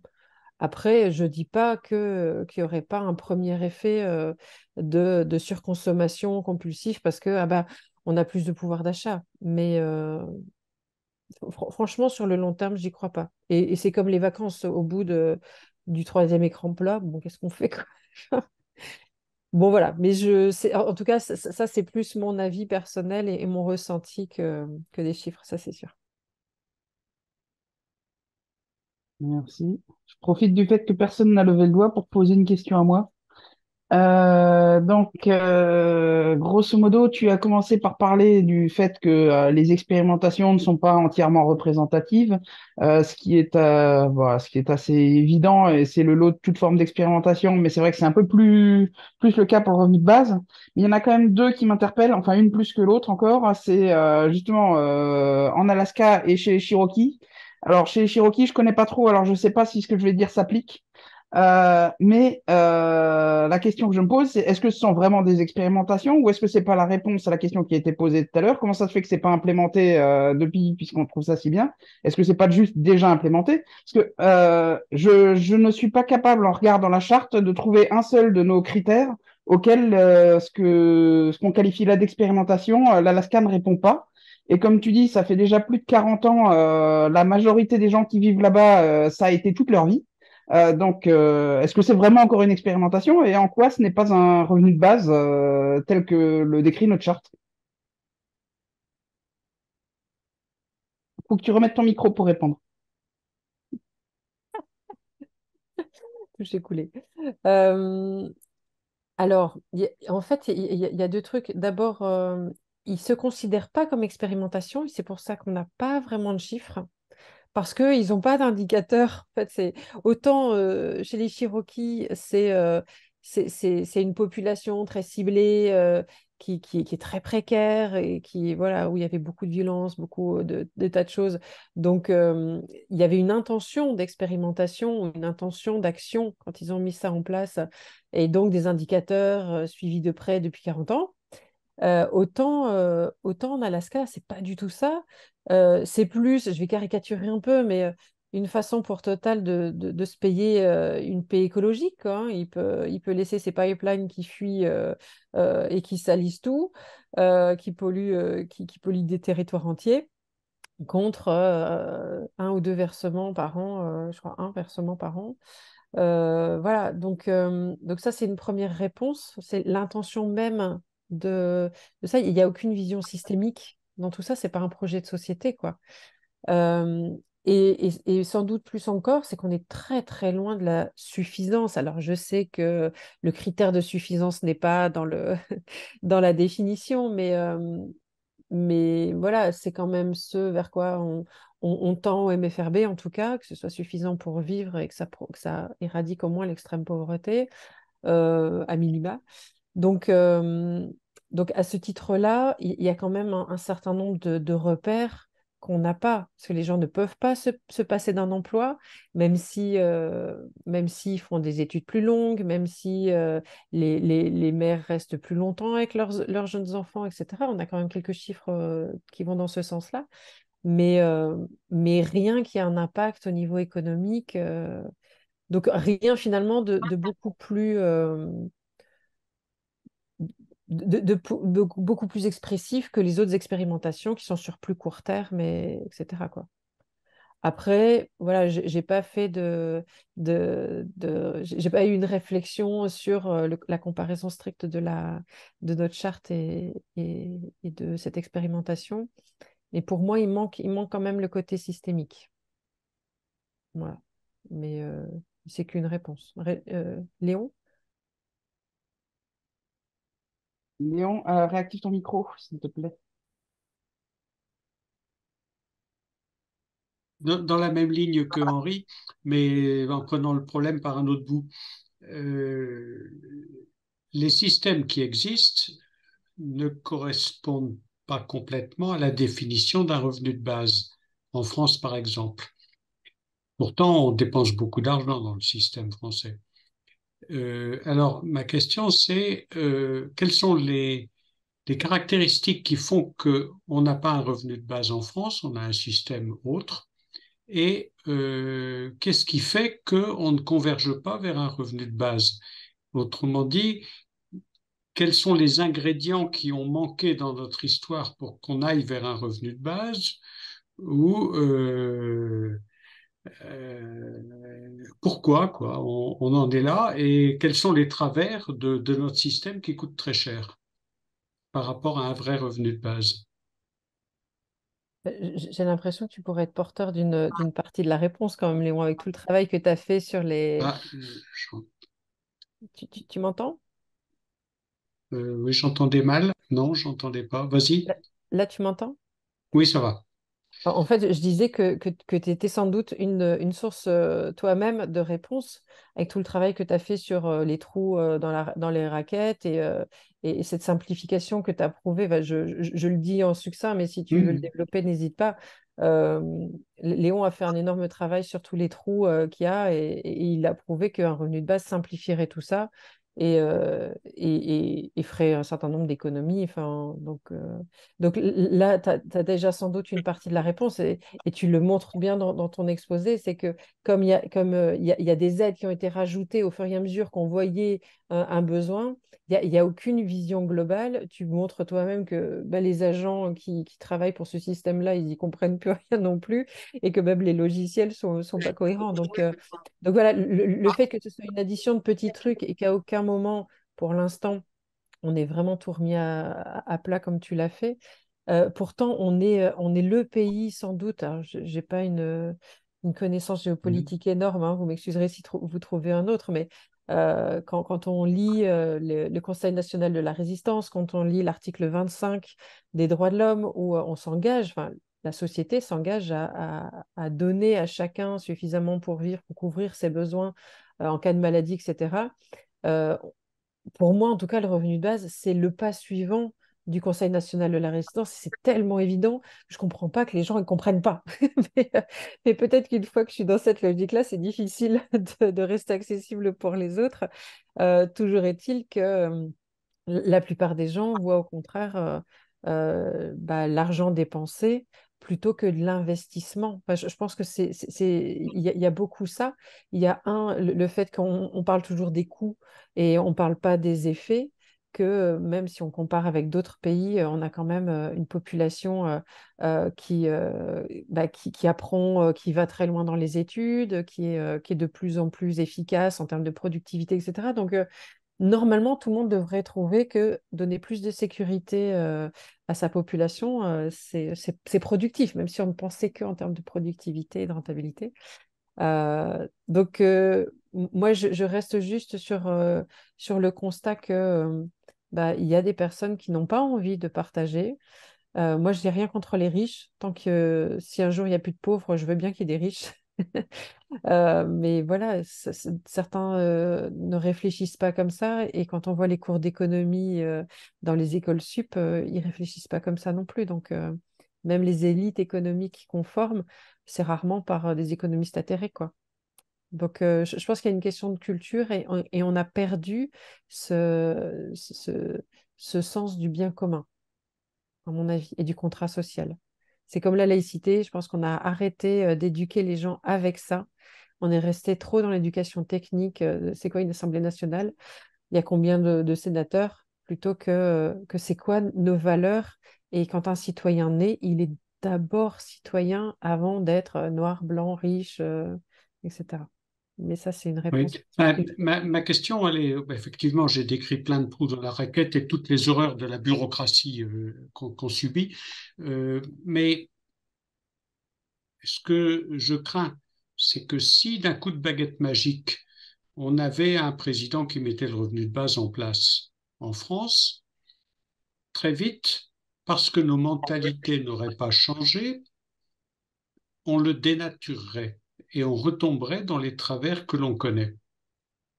Et, donc, euh, je pense qu'il y a une réflexion à mener sur quelles sont les conversions de mentalité qu'il faut que nous fassions collectivement pour que si un revenu de base était mis en place, il reste un revenu de base simple, euh, individuel, universel, euh, et qu'on ne soit pas pris dans les intérêts politico-bureaucratiques qui font ce qu'on voit, hein, c'est-à-dire les politiques euh, cherchent à gagner les prochaines élections et la bureaucratie cherche à assurer la pérennité de la chaise sur laquelle chacun est assis. Patrick, est-ce que ça te va si je réponds vite fait à ça avant de te donner la parole? Euh, En fait, euh, ce, que, je vois, c'est tout le travail d'éducation populaire qu'on doit faire entre deux élections. Euh, on a bien vu le succès très, très mitigé de, de, la proposition de Benoît Hamon. Bon, il y avait un contexte particulier, etc. Je, je, n'enlève pas ça. Il y a plein de gens qui n'ont pas voté pour lui alors qu'ils étaient pour l'idée. Ça, c'est, euh, ça, c'est évident. Mmh. Mais, euh, mais c'est pour ça qu'en termes d'éducation populaire, là, euh, le week-end prochain, on va faire la braderie de Lille. Bon, je ne pense pas que je vais réussir à toucher le million de touristes qui passera face à notre stand, mais, mais on, on, les touche avec la question, imagine, à partir de demain, tu reçois suffisamment pour vivre. C'est toute ta vie, c'est à ton nom, ça tombe, tu n'as rien à faire qu'est-ce que ça changerait pour toi? Pour justement déverrouiller les imaginaires et surtout, euh, alors d'abord impliquer la personne individuellement. Pour elle, ça changerait quoi dans son corps, dans ses tripes, dans sa, voilà, dans sa vie, quoi? Et après, la deuxième question, c'est, bah, imagine si on le donne à tout le monde, qu'est-ce que ça donnerait? Et on voit qu'en prenant euh, cette, cette, cette, cette porte-là, il y a beaucoup moins de, de, de peurs préfabriquées, celles que, que j'ai dénouées au fur et à mesure de, mon exposé. Donc ça, c'est une première réponse. Et, et, avec quand même, du coup, en parallèle, un, discours un peu optimiste, je pense, même si c'est en, dessous de mon rêve, mais c'est que ça avance, ça avance vraiment. Par rapport, je vais vous prendre juste un indicateur, le 1er mai, le 1er mai 2013, je venais de découvrir le revenu de base. Euh, j'en ai parlé à la manif, euh, donc principalement euh, avec les syndicalistes. Je m'en suis pris plein la gueule. J'ai arrêté d'en parler parce que c'était hyper virulent. Valeur travail, valeur travail, valeur travail. Bon, je ne leur ai pas expliqué à l'époque qu'ils étaient plus, plus capitaliste qu'ils le pensaient, mais voilà. Et aujourd'hui, quand on parle du revenu de base, alors il y a Benoît Hamon, mais il y a aussi d'autres versions qui sont connues, certains vers le réseau salariat, d'autres vers la monnaie libre, etc. Mais en tout cas, l'idée est connue et beaucoup plus de gens sont d'accord, vraiment. Donc, euh, donc, on a vraiment un travail de sape, ou je vais plutôt dire un travail de pollinisation, ce sera plus positif, euh, à faire. Et, ce qui est long, c'est que c'est un par un, quoi, c'est sûr on n'est pas encore. Euh, je ne sais pas, il faudrait évaluer en fait. Est-ce qu'on a atteint les 10% suffisants pour que, pour que la société bascule? Je ne sais pas. Euh, mais, en tout cas, on y travaille. Patrick? Oui, moi je réagissais par rapport à la question de, de l'affiliation en disant bah, tout ce que le Conseil national de la résistance a fait, en fait, c'est l'étape suivante. Et moi, il y a une question que je me pose toujours, c'est avec cette référence qui est très importante euh, dans l'esprit de la gauche, c'est que moi, ce qui me pose problème dans, l'héritage euh, politique et social de, l'instauration du système de, prévoyance, de prévoyance, euh, c'est qu'en fait, ce sont des systèmes basés sur les cotisations.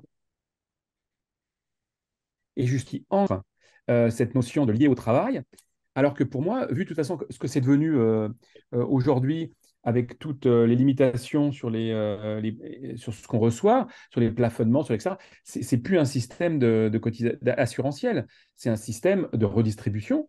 Et moi, je, préférerais que, carrément on bascule sur un système fiscal en disant c'est une, redistribution euh, de la richesse nationale que de garder cet héritage des cotisations qui à la fois enferme euh, euh, les forces de gauche dans cette idée qu'on doit être sur ce système de cotisation en disant non, c'est pas des charges, c'est des cotisations, etc., avec l'idéologie de cotisation qui serait vraiment le truc ultime en termes social. Alors qu'on voit bien que c'est ce que bah, c'est notre diagnostic si, si on est là pour revenu de base, c'est que les situations sont tellement différentes, sont tellement éclatées, le, travail est tellement distribué de façon très, très, très, très inégale que pour moi, c'est plus une valeur. Donc, quelque part, est-ce qu'il y a un verrou à faire sauter là au niveau de cet esprit des cotisations pour dire carrément c'est un système fiscal ou pas? Enfin, je sais pas, ça. Pour moi, le dernier verrou, enfin le, plus fort verrou et celui qui nous pose vraiment problème, c'est la valeur travail que les syndicalistes commencent, commencent euh, à, envisager le revenu de base, mais ils ont beaucoup de mal parce qu'ils euh, n'envisagent pas une vie sans emploi. Ce qui passe sans travail, ils mélangent emploi et travail. Et ça, pour moi, c'est le frein principal. Et du coup, ta question sur les cotisations, bah, c'est typiquement ça. C'est euh, il faut qu'on change d'assiette parce que la cotisation sur ceux qui travaillent, bah, c'est plus adapté parce qu'on a une productivité de dingue euh, et donc un pognon de dingue et puis plein de machines hyper productives. Alors, je mets de côté la limite écologique parce que c'est une autre question, mais, mais, euh, l'assiette est plus la bonne. Mais dès que tu touches à, la valeur travail, tu vas avoir beaucoup, beaucoup de personnes à gauche qui vont bugger. Et donc, c'est limite un, sujet, euh, un sujet en soi. Après, pour le reste, sur les différentes versions, etc., euh, ou sur la fiscalité, je laisserai plutôt euh, Henri et Léon répondre puisqu'ils sont porteurs de propositions. Euh. Juste un petit complément, c'est que je me dis oui, pardon. Vas-y, vas C'est qu'en fait, du coup, comme on voit que attaquer sur la question du travail, c'est c'est très problématique et à droite, effectivement, et à, et à gauche. La question, rentrer sur la question de la, de la comment j'appellerais ça, la, le mot bien mais euh, comment dire, de la de, de l'obsolescence de la, de la notion de cotisation. C'est une autre façon euh, d'éclater la, la, question de la référence au travail. Et en plus, on peut l'aborder sur une question d'efficacité, de pragmatisme et de montrer toutes les limites des cotisations euh, et, du coup, ça, éviterait le débat philosophique. je ne sais pas s'il faut l'éviter, ce qu'il est intéressant, mais en même temps, euh, on voit bien que ça heurte des, choses sur lesquelles plein de gens, notamment parmi les, hommes politiques à gauche, se sont construits toute leur identité. Donc, c'est juste pas possible, je dirais. Euh, il faut attendre la guerre une génération pour, revoir les choses autrement, quoi. Parce que c'est tellement fort pour des gens qui ont milité 50, 50 ans pendant cette notion-là. Je pense qu'il faut objectivement, c'est difficile d'attendre, comme disait Steve Jobs du clavier il disait, parce qu'à l'époque, c'était compliqué d'imaginer d'installer, de, proposer un clavier aux gens. Et il disait, euh, c'est un problème que seule la mort ne pourra résoudre. Sous-entendu, à un moment donné, euh, quand il y a des études tellement ancrées euh, qu'on peut pas, ça ne sert à rien de, donner l'énergie pour, pour, avec les gens. Il faut attendre qu'une nouvelle génération ait un œil neuf sur le sujet. Quoi. Mais bon, j'ai dit. Oui. Alors, j'ai vu Léon lever la main. Est-ce que c'est une réponse à Patrick ou est-ce que c'est une autre question? Non, non, c'est dans la ligne de ce qu'on est en train de dire. Ok. Euh, bah alors, si Patrick, vas-y, et puis après, il y aura Étienne et ensuite Antoine. Vas-y. Bon, j'y vais. Euh, donc, euh, c'est par rapport à ce que dit Virginie sur la valeur travail. Ça, c'est un blocage que je qualifie de principe, d'idéologique. Après, il y a la mise en musique, une fois qu'on est d'accord sur le caractère inconditionnel d'un revenu de base et la mise en musique, on pourrait rendre le RSA inconditionnel, on garderait une infâme usine à gaz avec des machins dans tous les sens. Et euh, pour moi, euh, après avoir infiniment réfléchi, il y a deux éléments qui sont essentiels. C'est le revenu de base doit être individuel et le revenu de base doit être simple et donc linéaire. Et quand je dis ces deux choses-là, je te vois froncer les sourcils, Virginie. Euh, quand je dis ça. Une question de clarification sur linéaire. Est-ce que tu peux préciser ce que tu entends par là? Linéaire, ça veut dire que les courbes ne font pas des zigzags. Ça veut dire qu'on a une formule y égale à x plus b euh, qui est complètement régulière. Il n'y a pas de seuil, il n'y a pas d'effet de seuil.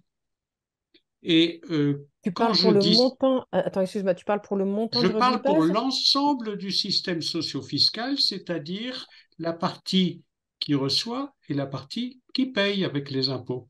Ça doit être continuellement linéaire. régulier. Ça veut dire qu'il ne faut pas que quand l'employeur donne 100 euros de plus à un salarié, selon l'endroit où il se trouve dans l'échelle des salaires, tout à coup, pour l'un, ça va faire 50 euros net de plus, pour un autre, 10 euros net de plus, et pour un troisième, 90 euros net de plus. C'est le délire, quoi.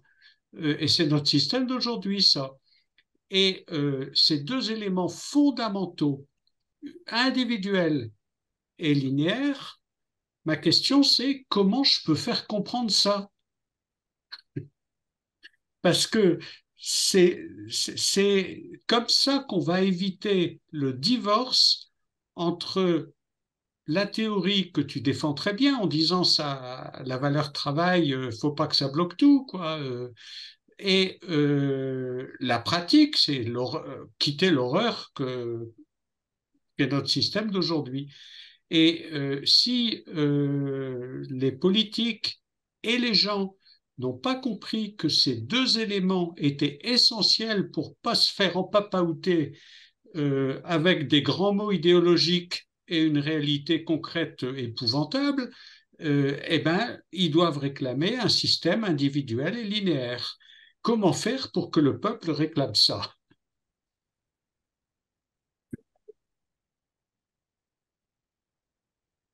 Euh, Je vais passer la parole à Étienne qui avait levé la main et ensuite Antoine. moi, je voulais répondre euh, d'une part à Monette et d'autre part à la question actuelle. Monette euh, qui est en train de partir, mais je peux te dire par rapport à, la question du revenu de base sur les riches, effectivement, Virginie a raison. Euh, L'Alaska est le cas où euh, c'est plus euh, où on peut trouver les seules données quasiment sur le sujet, mais mais c'est extrêmement contextuel et donc c'est très peu comparable. Enfin, il y a, y a une seule donnée quoi, donc c'est pas très c'est pas très généralisable. Et global, apparemment, enfin j'ai lu des, choses qui diraient que apparemment, vu que les riches gagneraient autant que les pauvres, euh, vu que les riches euh, ont déjà un, revenu euh, confortable pour vivre, ils peuvent, ça leur donne plus d'argent pour investir. Et donc, par le biais de l'investissement, le revenu de base enrichit davantage les personnes riches que les personnes pauvres. Donc, surtout sur le, la question immobilière. Mais c'est circonscrit à l'Alaska pour l'instant. Et pour la question euh, de, de Léon Régent sur comment convertir les foules, je suis assez d'accord avec Virginie. Euh, j'ai fait une conférence il n'y a pas longtemps où j'ai présenté le, le, revenu de base du coup et euh, à Lyon. Et euh, j'ai une, vidéo d'ailleurs que je pourrais euh, vous envoyer. Et, euh, et j'ai introduit aussi sur la question du, sondage. J'ai fait un sondage en ligne où j'ai posé la question aux gens. oui, comment est-ce que si vous receviez 1000 euh, euros euh, par mois, combien d'entre vous continueraient à travailler? Et j'ai mis non, oui, j'arrêterai de travailler, je continuerai de travailler, je travaillerai à mi-temps ou je, changerai de travail. Et après, je pose la question, voilà, avec si tout le monde a 1000 euros par mois, combien continue de travailler? Et forcément, il y a plus de gens qui, qui pensent que ben, les autres vont arrêter de travailler. Et c'est vrai qu'il y, a un fort écart entre la perception personnelle de, de ce qu'on pense, euh, pourquoi est-ce qu'on travaille, et la vision qu'on a, la perception qu'on a d'autrui. Et c'est un décalage, je pense même dans un débat télévisé, c'est vis-à-vis d'un journaliste, je pense que Virginie, c'est pour ça que sur le terrain, c'est pour ça qu'elle pose, c'est vraiment c'est le premier euh, le premier clash vraiment euh, c'est le, la première, euh, c'est la meilleure accroche, je pense, pour euh, déstabiliser ces, les fondations idéologiques de, euh, de ben, les autres sont fainéants, en fait. Plus que et, et tu chopes les gens par l'émotion comme ça. Voilà, c'est ce que, ce que, ce que je pense que je voulais apporter. J'ai fini. Merci beaucoup. Merci. Antoine? Euh, yes. euh, ouais, euh, il y avait plusieurs choses que je voulais dire déjà sur, euh, sur la, la, la remarque de, de Léon, euh, si je me trompe pas, euh, sur le fait que si jamais on met un revenu de base sans éducation populaire avant, euh, il y a un risque euh, d'un dévoiement du, revenu de base. Bah, je pense que la réponse, on l'aura que quand on aura réellement un revenu de base. Mais euh, moi, je suis pas du tout en, je pose pas du tout la même hypothèse. Notamment parce qu'il y a des choses, par exemple, au niveau de l'épigénétique, etc., qui montrent que, par exemple, le corps humain est capable, quand il est changé, quand il change de milieu, il est capable, en l'espace de quelques semaines, de changer des choses au niveau de son ADN. C'est-à-dire, en gros, alors, c'est pas son ADN qui change, c'est euh, euh, des parties de son ADN qui vont s'activer et d'autres qui vont se désactiver. Alors, je ne sais pas si ça marchera avec un revenu de base, mais ça marche en fait quand on, le met dans un milieu, par exemple, quelqu'un qui passe d'un pays froid à un pays chaud, en quelques semaines, peut y avoir des évolutions. Et en fait, on pensait avant que c'était en plusieurs générations, et maintenant, on a trouvé que en quelques semaines. Donc, euh, moi, je pense que quand euh, il y aura un revenu de base si jamais, euh, moi je fais partie des partisans qui, finalement défendent, comme les expérimentations qu'il y a eu dans les années 70 aux États-Unis, donc des, revenus de base réellement suffisants pour vivre sans travail. et donc à la louche en France, là je mettrais à 1004, même si c'est forcément lié à, débat et c'est totalement à la louche, donc j'assume le côté à la louche. mais voilà, en fait, pour avoir un peu cet ordre de, cet ordre de grandeur, si demain on avait quelqu'un qui imposait un revenu de base sur ce niveau-là, en, changeant tout le, tout le système social qui va, qui a autour, voilà, en remplaçant ce qui doit être remplacé, il y aurait peut-être des, des troubles pendant six mois, un an, et je pense qu'après, tout le monde s'y ferait et on, on s'adapterait en fait. Voilà, ça c'était. donc en fait, je pense qu'il faut faire confiance et que, euh, et que partir du principe que ça risque d'être dévoyé euh, a priori, c'est un petit peu comme euh, bah, les, les, questionnaires où quand on dit aux gens est-ce que vous arrêtez de travailler, ils gens disent non, non, moi j'arrête pas, et par contre les autres tous ils vont arrêter. Voilà, c'est un, ressenti que, que j'avais envie de, poser. Et après, il y avait sur la question de la valeur travail, c'est pour ma part, c'est quelque chose que euh, que je j'essaie de combattre parce que effectivement, alors combattre la valeur travail, ça ne veut pas dire qu'on ne va pas reconnaître la valeur du travail. Hein. C'est la différence entre le verbe et être et le verbe avoir.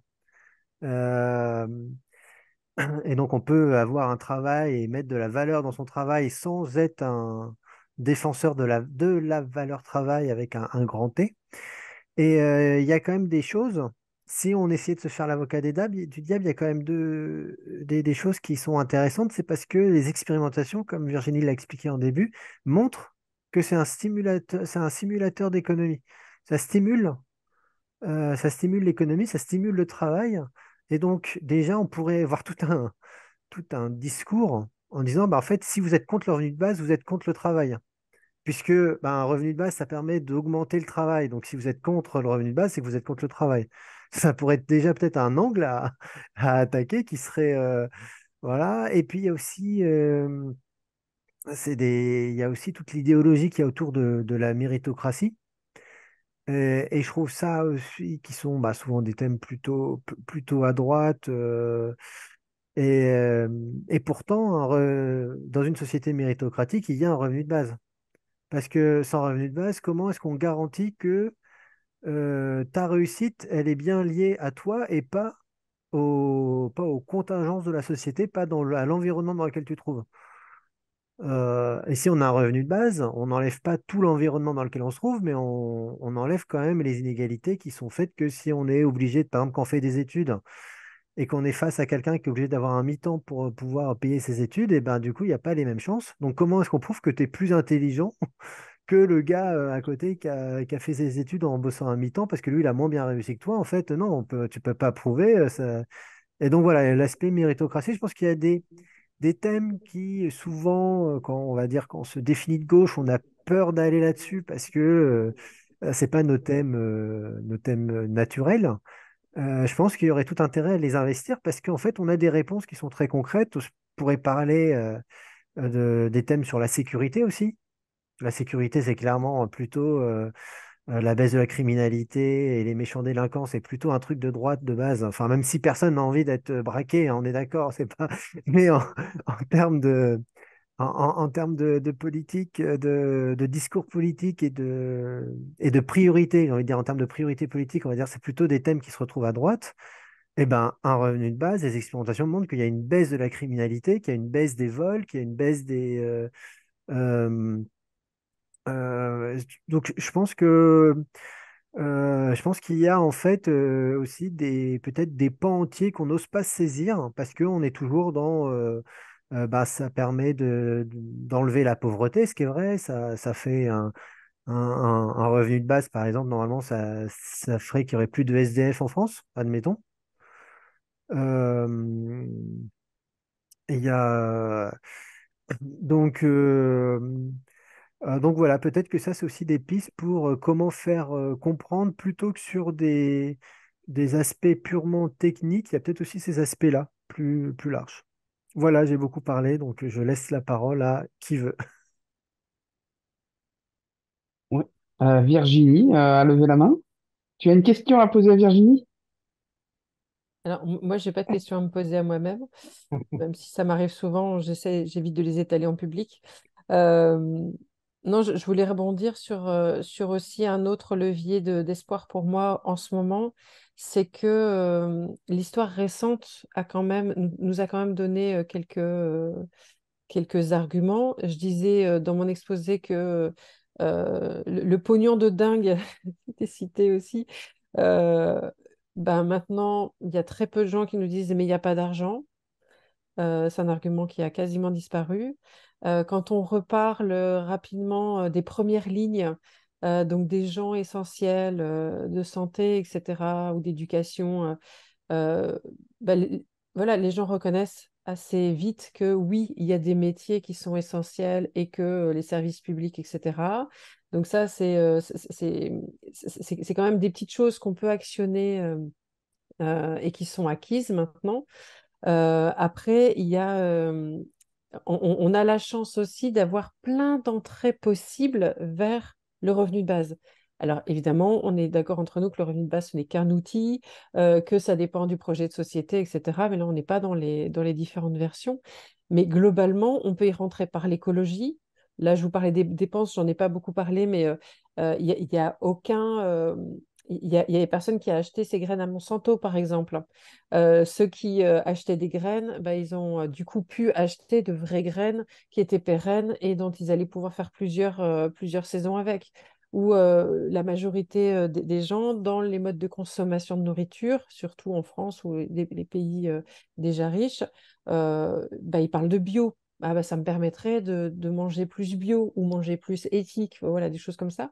Donc la piste écologique, euh, ça marche. Évidemment, la piste éradiquer la pauvreté, ça c'est la plus évidente, ça marche aussi. Euh, la piste numérique aussi, le, fait qu'il y ait de plus en plus d'emplois qui soient euh, bah, faits par des logiciels, par des machines, etc., ça inquiète beaucoup. et, et le revenu de base est une réponse à ça. Euh, on a tout ce qui est égalité femmes-hommes, on a tout ce qui est émancipation des jeunes, etc. Il y a, en fait, il y a, plein d'entrées possibles euh, qui, euh, qui atterrissent, alors pas forcément que sur le revenu de base, mais en tout cas, voilà, des, des- questionnements, des, des mutations du travail, etc., que, que le revenu de base pourrait bien simplifier, même si, ah, on ne va pas développer maintenant, mais le revenu de base tout seul euh, n'est pas un projet de société. Moi, je suis persuadée que si on l'a euh, demain, et je rejoins Frédéric Bosquet quand il dit que euh, pour lui, un revenu de base à 1 euro, il vote pour, s'il est universel, parce que rien que le fait qu'il existe et qu'il soit systémique, j'ai du mal à, imaginer que, que les gens n'en veuillent pas plus. Voilà. Donc, dès que, dès qu'on l'installera, quel qu'il soit, je, pense qu'il sera défendu.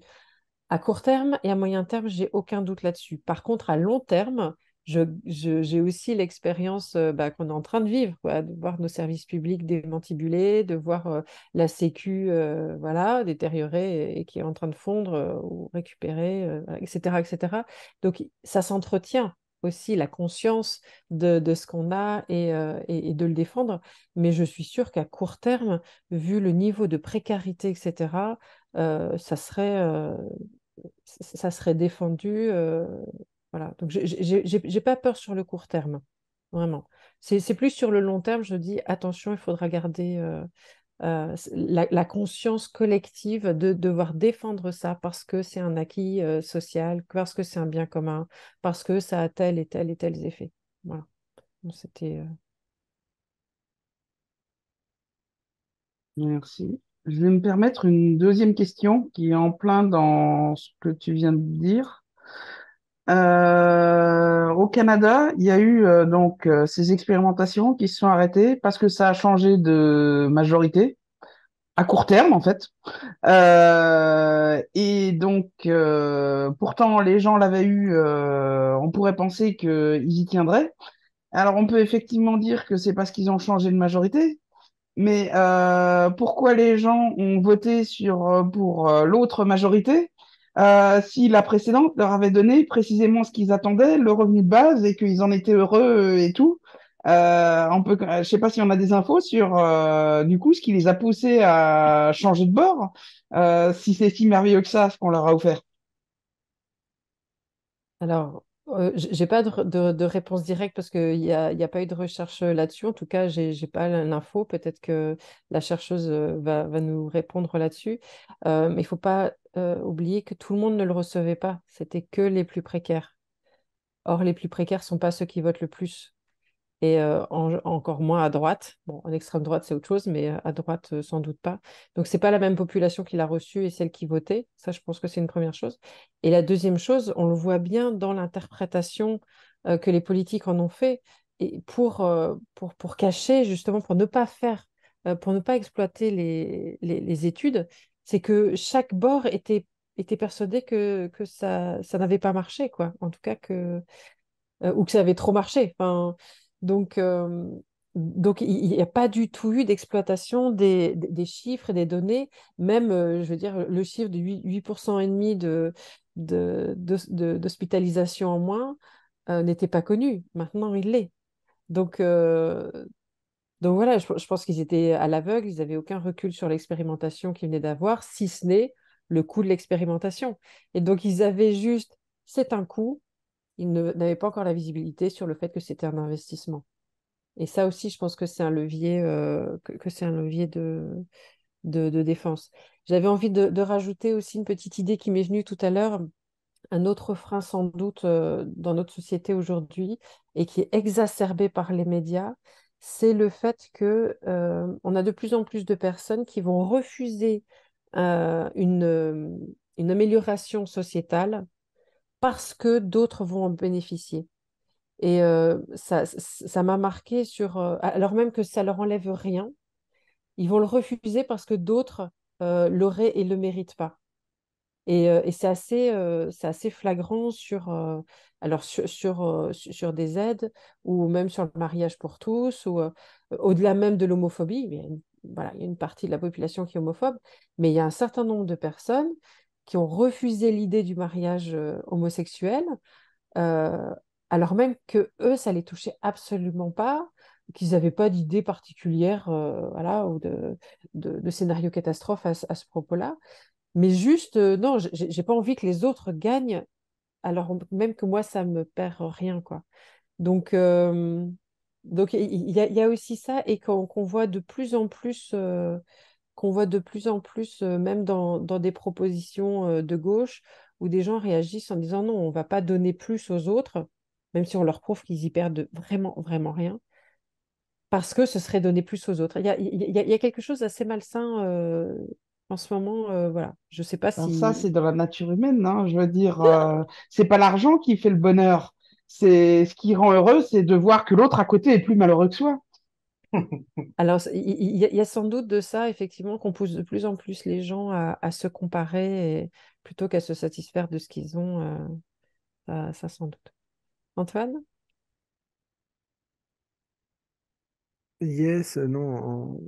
En, réaction, il y a, aussi, euh, je pense, plutôt le. Je pense qu'il faut plus aller chercher au niveau du matraquage, euh, du matraquage médiatique. Et, et, du fait qu'on est exposé en permanence à des idées qui rendent des idées qui étaient il y a 10 ans insupportables, tout à fait euh, supportables aujourd'hui. Euh, un exemple qui, moi, me semble très parlant et très, très concret, c'est le, par exemple, le rôle qu'a eu Zemmour lors de la dernière campagne présidentielle, où euh, ben, finalement, l'espace d'un an, il y a des, il disait toujours la même chose. hein, son discours n'a pas changé, mais à force d'être euh, euh, euh, écouté, en fait, c'est les, neurosciences qui nous donnent des, des, éléments dessus. C'est plus on est exposé à une idée, plus elle nous devient acceptable, au même titre que plus on est exposé à quelqu'un, plus cette personne nous devient sympathique. C'est du coup, il y a peut-être aussi ce, genre de choses à, à, à- prendre en compte. plus, plus que le fait de partir, dire oui, mais les êtres humains, ils sont, et le fait de, dire par exemple que ce qui nous rend heureux, c'est c'est que les- il y a, y a des gens plus malheureux que nous. Le simple fait de dire ça, ça participe au fait que ça devienne une réalité. Et donc, et donc dans ce cas-là, euh, peut-être que la, question justement, c'est d'avoir un contre, un contre-discours et en disant, bah non, en fait, quand, euh, quand tout le monde est en sécurité, tout le monde aime être en sécurité et c'est bien mieux pour tout le monde. Euh, et et il n'y a pas cette notion, il y a, pas ces notions-là de, euh, de on est en fait parce que je crois pas que les gens, enfin je suis désolé, mais quand tu croises un, quand on croise un SDF dans la rue, il y a, je vois assez peu de gens, même parmi les gens qui pourraient être de, grosses euh, voilà, on va dire. Je j'avais pas d'un seul qui me venait en tête, mais je sais que ça aurait été ça aurait été pas sympa de le dire quoi qu'il arrive, donc je mets, je m'auto-censure. Mais parmi ces gens, pa- parmi, il y a personne en fait qui est content de voir, de voir quelqu'un qui est SDF. Enfin, sinon, euh, si ça rendait les gens heureux, on mettrait pas il y aurait pas des ingénieurs qui développent des bancs pour empêcher les SDF de dormir dans la rue. On dirait, ah trop bien, regarde, euh, c'est cool. Aujourd'hui, je vais faire un petit tour en ville, je vais croiser 10 SDF et moi j'ai un- une maison. Qu'est-ce que je suis heureux. Enfin, personne ne fait ça. Donc, le fait de dire que le malheur des, que le malheur des autres, ça nous rend heureux, c'est euh, c'est quelque chose qui est, qui est une croyance. Beaucoup de gens le, euh, ont, cette croyance-là, et en fait, c'est qu'une croyance, parce que dans les faits, euh, on voit bien que c'est pas vrai. Et euh, par contre, il y a aussi la croyance de, ben, en gros, bah, c'est comme ça, c'est la vie, on peut pas être tous, égalitaires. Et, en fait, tout ça, c'est des croyances qu'il faut, qu'il faut dégommer, je pense.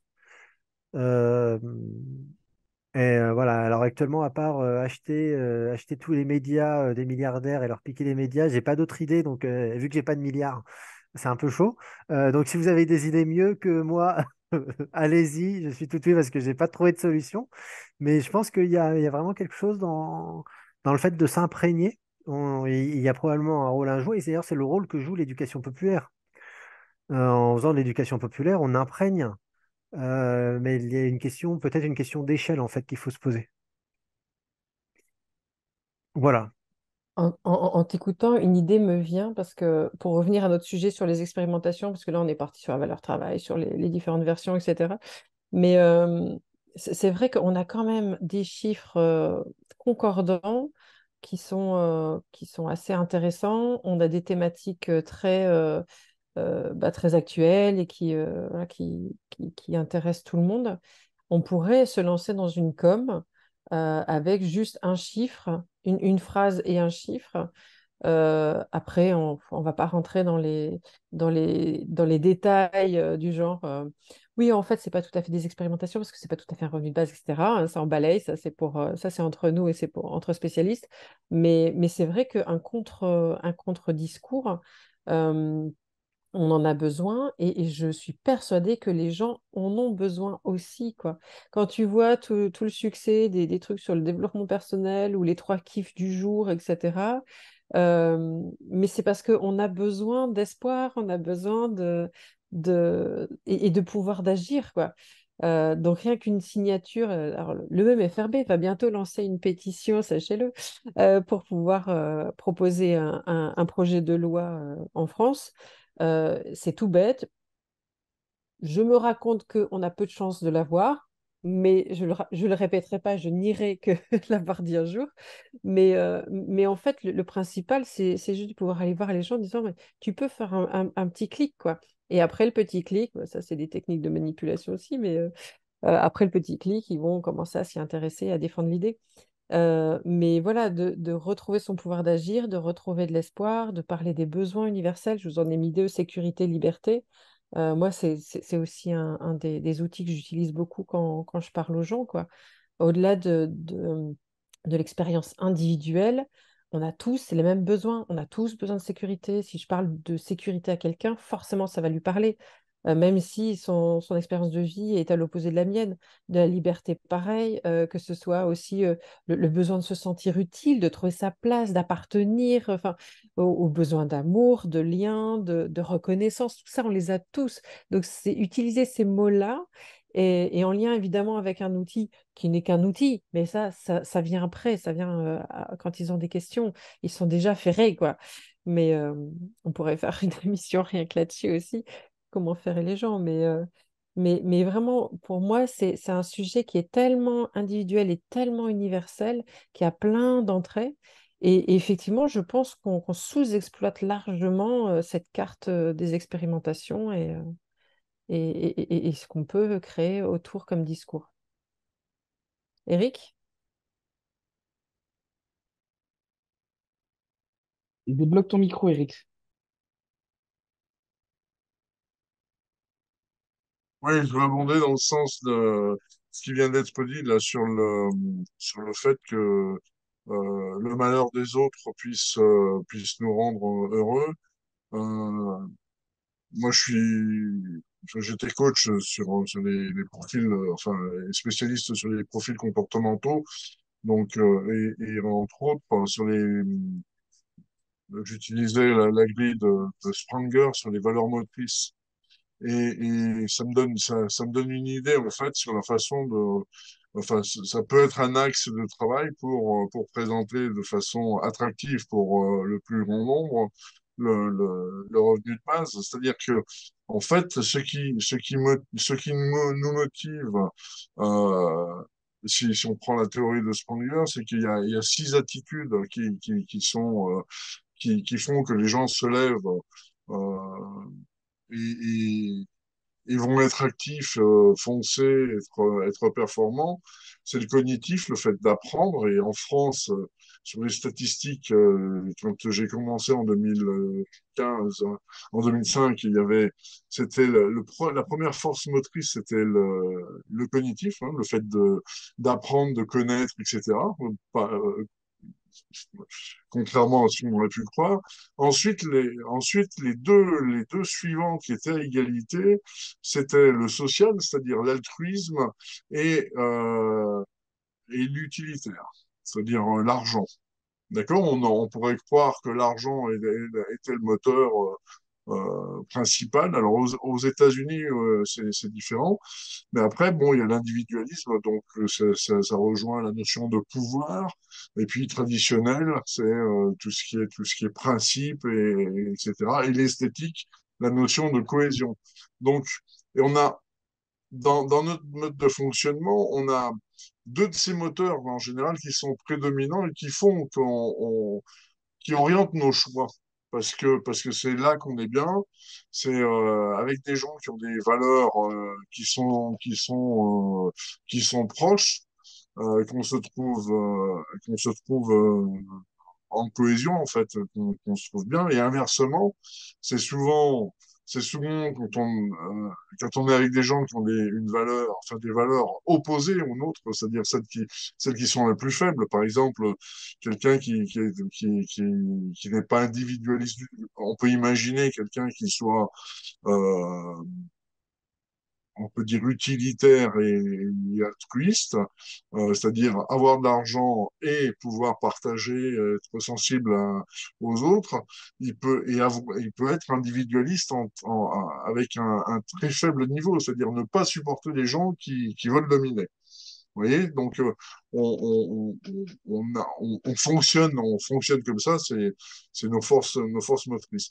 Et c'est vrai que d'axer d'axer le discours en intégrant ces données, ça peut être intéressant, c'est-à-dire d'aller chercher euh, euh, et, et ceux qui vont euh, être à la recherche de la vérité, hein, les cognitifs, qui vont essayer, essayer de comprendre. Et là, Virginie, euh, tout ce que tu nous as exposé est, un, est un régal pour ces, pour ces gens-là, parce que, parce que tu, tu nous donnes, tu, tu, tu donnes des infos, tu, tu alimentes. Après, euh, bah, dans, dans, dans, dans, dans ce que tu as donné, euh, les gens qui sont sur la notion de d'esthétique, de, de, de, cohésion, etc. Bah, quand, quand tu dis que euh, on a on a une paix sociale euh, qui est qui est accrue, etc.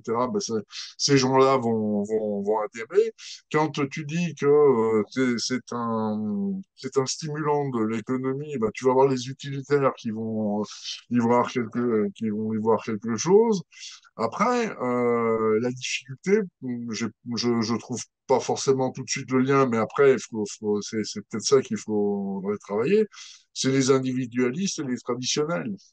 C'est-à-dire ceux qui sont dans le, les traditionnels, c'est plutôt les dogmatiques, et puis les individualistes, c'est ceux qui veulent diriger. Et ceux qui veulent diriger et dominer, euh, c'est clair que quand tu donnes le, le revenu de base, c'est un des arguments qu'on pourrait avoir avec les syndicalistes et les gens qui défendent la valeur travail, c'est dire, eh, si, si tu as ton revenu de base, euh, eh ben, l'employeur, il faut qu'il vienne te chercher. Hein. Il faut qu'il faut qu'il soit attractif et qu'il te propose quelque chose qui te, qui te donne envie d'avoir plus et, et, après ben, de, de, de bosser euh, en prenant en prenant ton pied donc en étant euh, en étant efficient euh, et pour et pour toi et pour ton émancipation. Mais il y a il y a en effet à, chercher peut-être tu parlais de porte d'entrée la porte d'entrée pour les individualistes ceux qui sont sur le pouvoir puis ceux qui sont sur sur les principes quoi, de, de, rigueur, etc. Sachant que ouais, les, les, quatre autres euh, les quatre autres moteurs euh, cognitifs, utilitaires, esthétiques et social, on les on les nourrit. C'est clair. Voilà. Euh, j'ai dit. Mais, mais ouais, c'était, c'est, je, ça, je suis venu là-dessus. Merci, merci parce que le, en effet, on est pour, enfin, euh, il y a, y a une bonne, une grande partie de la population qui, qui n'est pas heureuse euh, de voir des gens plus pauvres. Ça, non. Voilà, l'abbé Pierre, j'ai dit. Du coup, Eric, j'ai euh, alors une petite question. Est-ce que tu pourrais euh, écrire dans le chat comment tu écris grille de Springer, je sais pas quoi? Springer, Springer ouais. Si, tu peux l'écrire. Et, euh, et, pendant que tu es en train d'écrire, est-ce que tu peux nous écrire un article là-dessus? Oh, oh, oh, Regarde, je, vais me mettre en dessous de l'auréole. Mais oui, parce que c'est vraiment très intéressant et ça pourrait parler. C'est vrai. Je, je, me dis peut-être que pour le, pour un des profils, alors pas, pas pour les dominants, euh, ceux qui aiment le pouvoir, mais l'autre, euh, un des deux profils qui reste, euh, il, peut y avoir la notion de qu'un revenu de base réconcilie, en fait, je vais faire très très caricatural, mais libéralisme et communisme. Et ça, c'est quelque chose qui pourrait leur plaire parce que parce qu'on est dans des concepts, etc. Bon, après, on les laissera se, se perdre dans des débats euh, historiques, mais, euh, mais ça peut les accrocher là-dessus. Euh, ouais, je veux bien, mais à, tu vois, là, tu, tu, tu donnes un, un axe, ouais, à travailler à plusieurs. Je veux bien, ouais. Mmh. Et, et, même que justement, ta conclusion ou même ton accroche, même dans le titre, qui soit écrit que le revenu de base euh, ne, que, que, tout le monde aime le revenu de base, sauf les profils euh, euh, dominants ou dominateurs. Ben, je, pense que c'est une bonne accroche. Et puis après, tu t'expliques pourquoi tous les autres vont aimer, sauf eux. Mais c'est un bon argument, je trouve.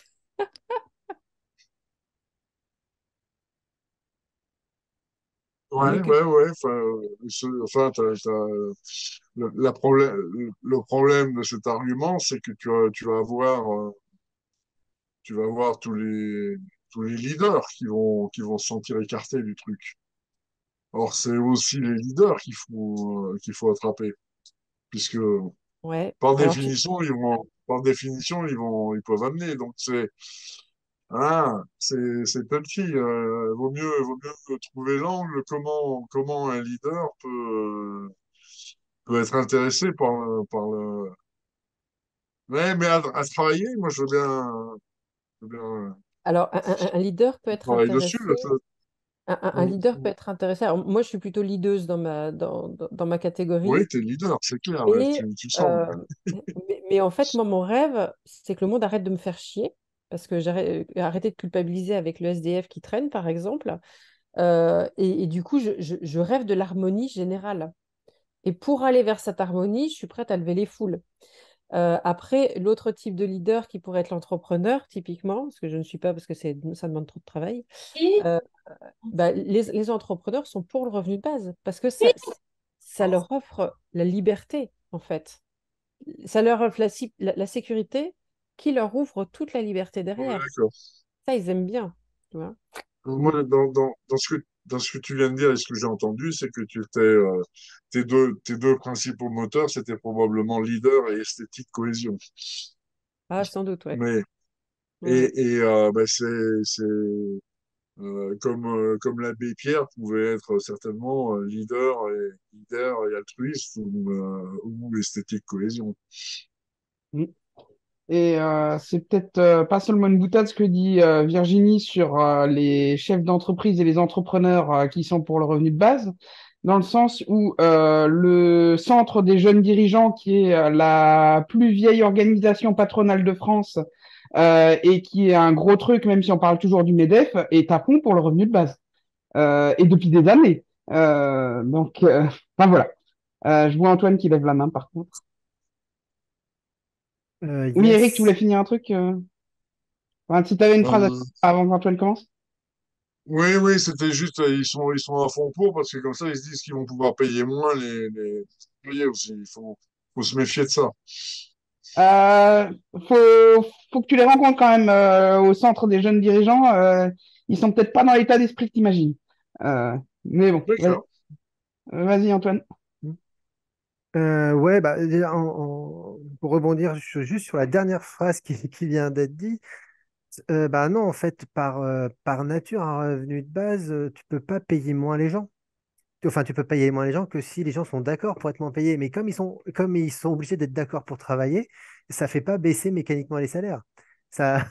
Donc, euh, donc non, du coup, à la rigueur, s'il y a des gens, ça leur permet d'être pour, alors que de base, ce seraient des ennemis, on, les laisse dans l'erreur, et puis bah, le jour où c'est mis en place, ils se rendront compte. Mais non, en fait, euh, on expliquerait, enfin, c'est c'est pas du tout un argument. euh, voilà, et, il y a beaucoup d'entrepreneurs.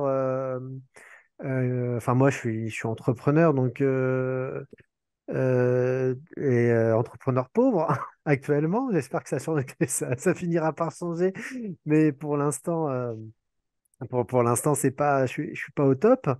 Euh, bah, du coup, un revenu de base, ça amènerait une sécurité, et je, enfin, et, si tout le temps que j'ai consacré à essayer de soit de, de gratter des aides parce que je peux retrouver dans l'urgence, soit d'être dans des, des trucs pour dire voilà, parce que globalement je suis entrepreneur parce que le, salariat, je suis, inapte, au salariat, je pense. C'est-à-dire que euh, à moins d'avoir une volonté d'une tuerie de masse euh, au bout de six mois dans un endroit, dans une entreprise, euh, ce qui est relativement déconseillé, parce que ben voilà, c'est ouais, ça me rend, je sais que ça m'abîme vraiment mentalement. C'est pas. Euh, euh, Il y a aussi le fait que j'ai que si sur le marché du travail, j'ai pas accès à des à des boulots qui sont vraiment intéressants, à la rigueur, euh, des peut-être des boulots de cadre et tout, peut-être que je pourrais m'épanouir, mais euh, comme j'ai pas les les diplômes et que j'ai pas envie en plus d'a- d'aller là-dedans, hein, clairement, il y a, y a ça aussi. euh, du coup, euh, je pense pas qu'on puisse me proposer quelque chose qui m'irait si, je devais absolument rentrer dans le domaine, euh, dans le domaine traditionnel. Donc, euh, on est dans une époque où être entrepreneur, c'est quand même plus simple. Mais si on prenait tout le temps, euh, tout, tout le temps, euh, du coup, justement, on doit aller chercher des aides, euh, des montages. euh, des, des trucs à droite à gauche pour bah, justement juste pour pouvoir tenir tenir et pour qu'on a construit une entreprise pendant plusieurs années, que tout s'écroule pas du, du, jour au lendemain, bah en fait, un revenu de base, ça sécurise énormément. Il y a énormément de personnes qui sont des entrepreneurs qui diraient, bah oui, en fait, là, on a notre sécurité. Et puis, bah après, si ça marche, tant mieux. Si ça met 10 ans à marcher, bah en fait, pendant 10 ans, on s'est pas serré la ceinture. Enfin, moi, j'ai vu des, je pense à, à un moment donné, j'allais dans une, dans une salle de sport, c'était un couple qui avait, qui avait, qui l'avait monté. Ils avaient mis, je sais plus, peut-être 100 000 euros sur la table, ou je sais pas. Donc, ils avaient, en fait, ils avaient travaillé, ils avaient, du coup, ils avaient des prêts, mais ils avaient aussi toute une fonds de leur euh, fonds propres qui était passé. Et au bout de deux ans, ils se dégageaient un SMIC pour deux. Euh, voilà, ça, il y a une réalité entrepreneuriale qui est ça aussi. Et, et du coup, pareil, cliver, dire, il y a les, les gentils salariés contre les méchants entrepreneurs, qui a un discours qui est assez caricatural, qui, se retrouve hein, dans le discours politique, hein, clairement. je trouve que c'est passé à côté d'une, de toute une grande réalité, parce qu'il ne faut pas oublier, hein, les patrons du CAC 40, et eh ben, en fait, ils sont 40. voilà, et, que, et, que les, et que finalement des personnes, qui, des personnes qui ont des grosses réussites et qu'on des se, se, et enfin non alors pas qu'on des grosses réussites mais qu'on des des qu'on des gros revenus et qui veulent euh, et qui veulent pas lâcher en fait ce, que j'appellerais de la réussite non éthique. C'est-à-dire qu'en gros ils sont ils sont pleins de thunes parce que ils ont euh, ils ils ont cassé autour d'eux. Euh, ça il y en a malheureusement. Heureusement c'est pas la majorité mais il y en a et, et c'est souvent ils sont relativement puissants mais en fait, à part eux qui effectivement faut être contre le revenu de base parce que parce qu'il y a un côté où en fait ils sont mal, en fait en, fait faudrait les, les soigner, c'est de la maladie. C'est euh, dire que voilà, il y a, y a un côté où ils sont tellement formatés dans le fait de que c'est normal euh, d'être d'être comme ça. Enfin, moi, j'ai discuté avec des gens qui faisaient, euh, on va dire, du business, ce qu'on trouve vraiment de, pire, qui m'expliquent que la corruption en Afrique, c'est normal si on veut faire du business en Afrique, que c'est les règles et que bah, du coup, il faut graisser les battes et que c'est et que c'est que c'est OK, en fait. Parce que sinon, ça n'en fait pas. Donc, voilà, un principe de réalité. Enfin, on, peut rencontrer. Et c'est pas forcément des gens méchants, hein. en plus, c'est le paradoxe, c'est que. Mais euh, on peut rencontrer des, personnes qui sont, euh, qui sont comme ça parce qu'en fait, elles sont aussi, aussi ce formatage. Euh, ce formatage, on est, on est en, tant qu'être humain, on est plein de croyances. Moi, je, travaille beaucoup sur la question de comment est-ce qu'on se formate nous-mêmes et c'est pour ça que des moments comme ce soir, c'est important parce que bah, ça, contribue à nous déformater d'autres choses. Parce que si on n'était pas ce soir entre nous, on serait peut-être devant une émission de télé ou en train de lire des articles ou en train de lire un livre, mais qui nous donnerait du coup un autre formatage. Voilà, on serait. Euh, enfin, pour moi, c'est une notion de nourriture, euh, nourriture euh, spirituelle. J'ai vu Virginie faire un grand haut. Moi non plus, je n'ai pas de chaîne télé, donc je serais pas, j'aurais pas été devant une émission de télé. mais, mais ça aurait pu. Voilà, on ne sait jamais. Et puis, et puis pour terminer, après j'ai vu qu'Étienne avait levé la, la main, mais oh, une petite idée qui m'est, enfin, qui m'est pas venue, mais que du coup j'aime bien, peut-être lancer. Ça pourrait être une idée de lancer un thème et euh, d'avoir de faire des dissertations du revenu de base. Et donc, on lance un thème par mois et tous ceux qui ont envie de s'y coller, ils font quatre pages euh, ou deux pages sur un, euh, thème. voilà, ça, pourrait être une idée à, à, mettre en place. Ça pourrait être marrant de voir, en fait, de se forcer à développer, mais un petit peu sur quelque chose un peu scolaire. on se dit, voilà, ça va nous prendre 3-4 heures. ça... voilà, c'est mettre les dissertations du revenu de base. je ça peut être une idée, puisque ça, ça ressort. Voilà. Il n'y a pas de raison qu'il n'y ait que Eric qui écrive un article. Voilà. Alors, merci Antoine. Avant de passer la parole à Étienne, euh, je vois qu'il y a déjà deux personnes qui sont parties, euh, que euh, Virginie, notre merveilleuse intervenante, nous demande à quelle heure ça termine parce qu'elle veut aussi se coucher à un moment. donc, en fait, officiellement sur l'horaire, c'est censé être fini depuis une demi-heure. Voilà. Euh, à part ça, euh, moi, je veux bien laisser la lumière pour tous ceux qui veulent rester et continuer à discuter aussi longtemps qu'on veut, mais ceux qui veulent partir euh, ont le droit de partir. Euh, je vous soumets dans le chat un petit Google Form comme d'habitude pour que vous puissiez dire ce que vous avez pensé de la séance, si vous voulez qu'on change des choses, si on voulait qu'on fasse de nouvelles choses et autres. Euh, et euh, je vous informe que euh, le mois prochain, c'est de nouveau euh, Virginie euh, qui sera intervenante.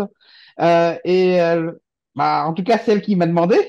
Et je lui laisse peut-être, vu qu'elle est fatiguée, nous dire au revoir et nous faire rapidement le pitch pour nous donner envie de venir le mois prochain, nous dire ce qu'elle va nous raconter. Mais pas, pas nous raconter ce qu'elle va nous raconter, juste nous, nous, nous donner envie.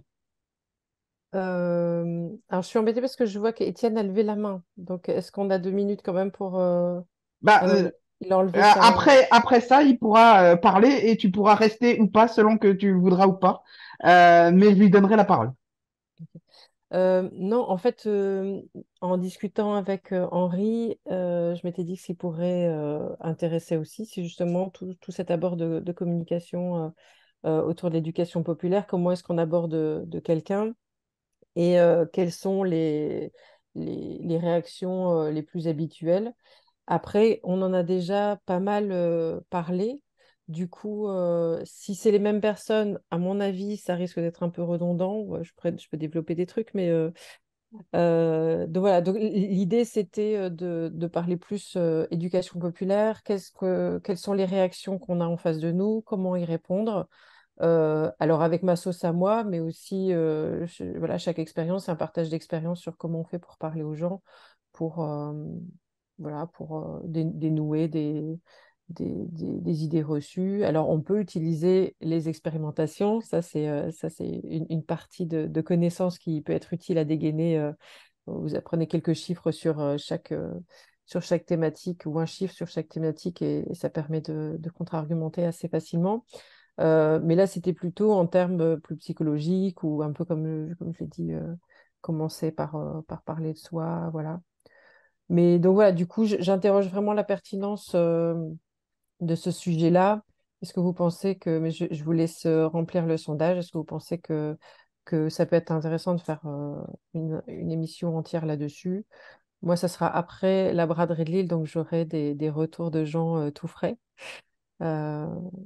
Mais voilà. Donc euh, voilà, si, si dans le sondage euh, ça ressort que bah, finalement c'est pas très intéressant, euh, je vais pas insister et euh, ce sera avec plaisir que je laisserai ma place. J'ai pas d'enjeu là-dessus, même en termes de- d'identité, de reconnaissance ou d'estime de moi, ça va, je, je vivrai tout ça bien. Et si ça vous semble intéressant, bah, du coup, à vous d'apporter aussi vos, vos propres expérimentations d'argumentation. Voilà.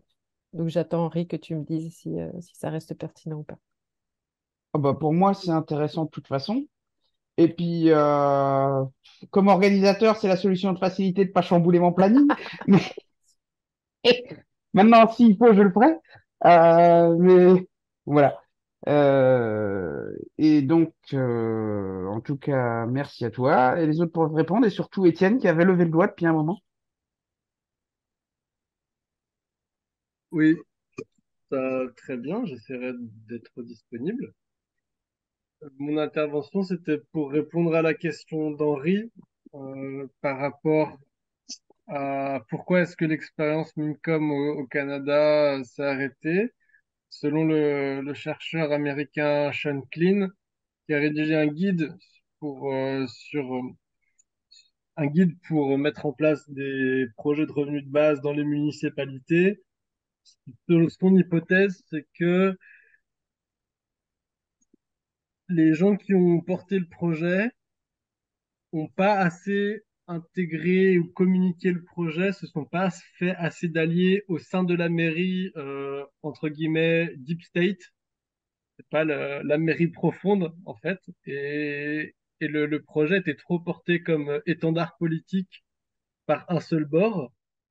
Et, du coup, c'est fait euh, dégager dès qu'il y a eu un, changement. Là où les programmes qui ont tenu plus sur la durée, c'est vraiment lorsqu'il y a eu des, liens avec les fonctionnaires, avec des, personnes qui faisaient tourner l'institution au, au-delà de, des différences, euh, des différences politiques et qui ont réussi à, à créer cette sorte de consensus dans le, dans le deep state. je trouve ça très chouette. Et voilà, mais je, m'en veux un peu de ne pas laisser euh, Virginie conclure. Je vais m'arrêter là. Alors, Étienne, je vais, je vais conclure en partie en te demandant euh, de, de compléter cette fameuse carte que tu as découverte. Parce que comme ça, euh, parce que je, je vois aussi que tu as accès à, plein de, de textes en, en anglais notamment, qui moi, bah, je fais du Google Trad, c'est quand même pas le meilleur. Mais donc n'hésite pas à l'enrichir au fur et à mesure que tu as, des infos, des chiffres, etc. Et euh, j'avais juste envie de vous partager euh, un, petit, une petite comparaison que quelqu'un euh, quelqu'un m'a faite un jour que j'ai trouvé très pertinente pour instaurer le revenu de base. L'idéal, ce serait de faire comme pour, pour le droit à l'IVG. C'est-à-dire qu'il y avait des gens de droite et il y avait des gens de gauche qui étaient d'accord, même si c'est un revenu de base entre guillemets minimal du type niveau du RSA, donc porté par Marc de Basquiat, Léon Régent, où, là, pour le coup, on a déjà une, euh, une étude chiffrée. Euh, voilà, tout, tout, tout, est déjà prêt pour l'installer euh, en moins de cinq ans. donc voilà, il peut très, on peut très bien trouver des gens de droite et de gauche qui seront, qui seront d'accord, quitte à nous lâcher sur, sur des détails qui ne sont pas essentiels. et pour le droit à l'IVG, ce qui s'est passé, c'est qu'ils ont voté le droit et la gauche a lâché sur, euh, sur le fait que euh, du coup c'était remboursable par la Sécu. Et ça, ça a été instauré quelques mois après, donc après les grands débats houleux. La, la loi a été votée, donc par, euh, proposée par, portée par Simone Veil. Et, et, après seulement, voilà, ils ont rendu ça remboursable. Donc les, les, porteurs de l'idée ont su aussi mettre de côté leur idéal ce que je pense qu'on n'a pas su faire, nous, au moment de, Benoît Hamon, parce qu'on a été très critiques. Donc, on a fait notre rôle en partie, mais en même temps, on ne l'a pas soutenu autant qu'on aurait pu à l'époque, alors que c'est quand même lui qui, portait l'idée la plus haute, le plus haut. Donc, euh, donc voilà, à mon avis, c'est en France la piste euh, intéressante euh, que certains ont déjà commencé, que le MFRB bah, travaille aussi au lobbying. Donc n'hésitez pas à venir rejoindre le MFRB, que ce soit pour le lobbying comme pour l'éducation populaire. On a besoin de manger la banane par les deux bouts.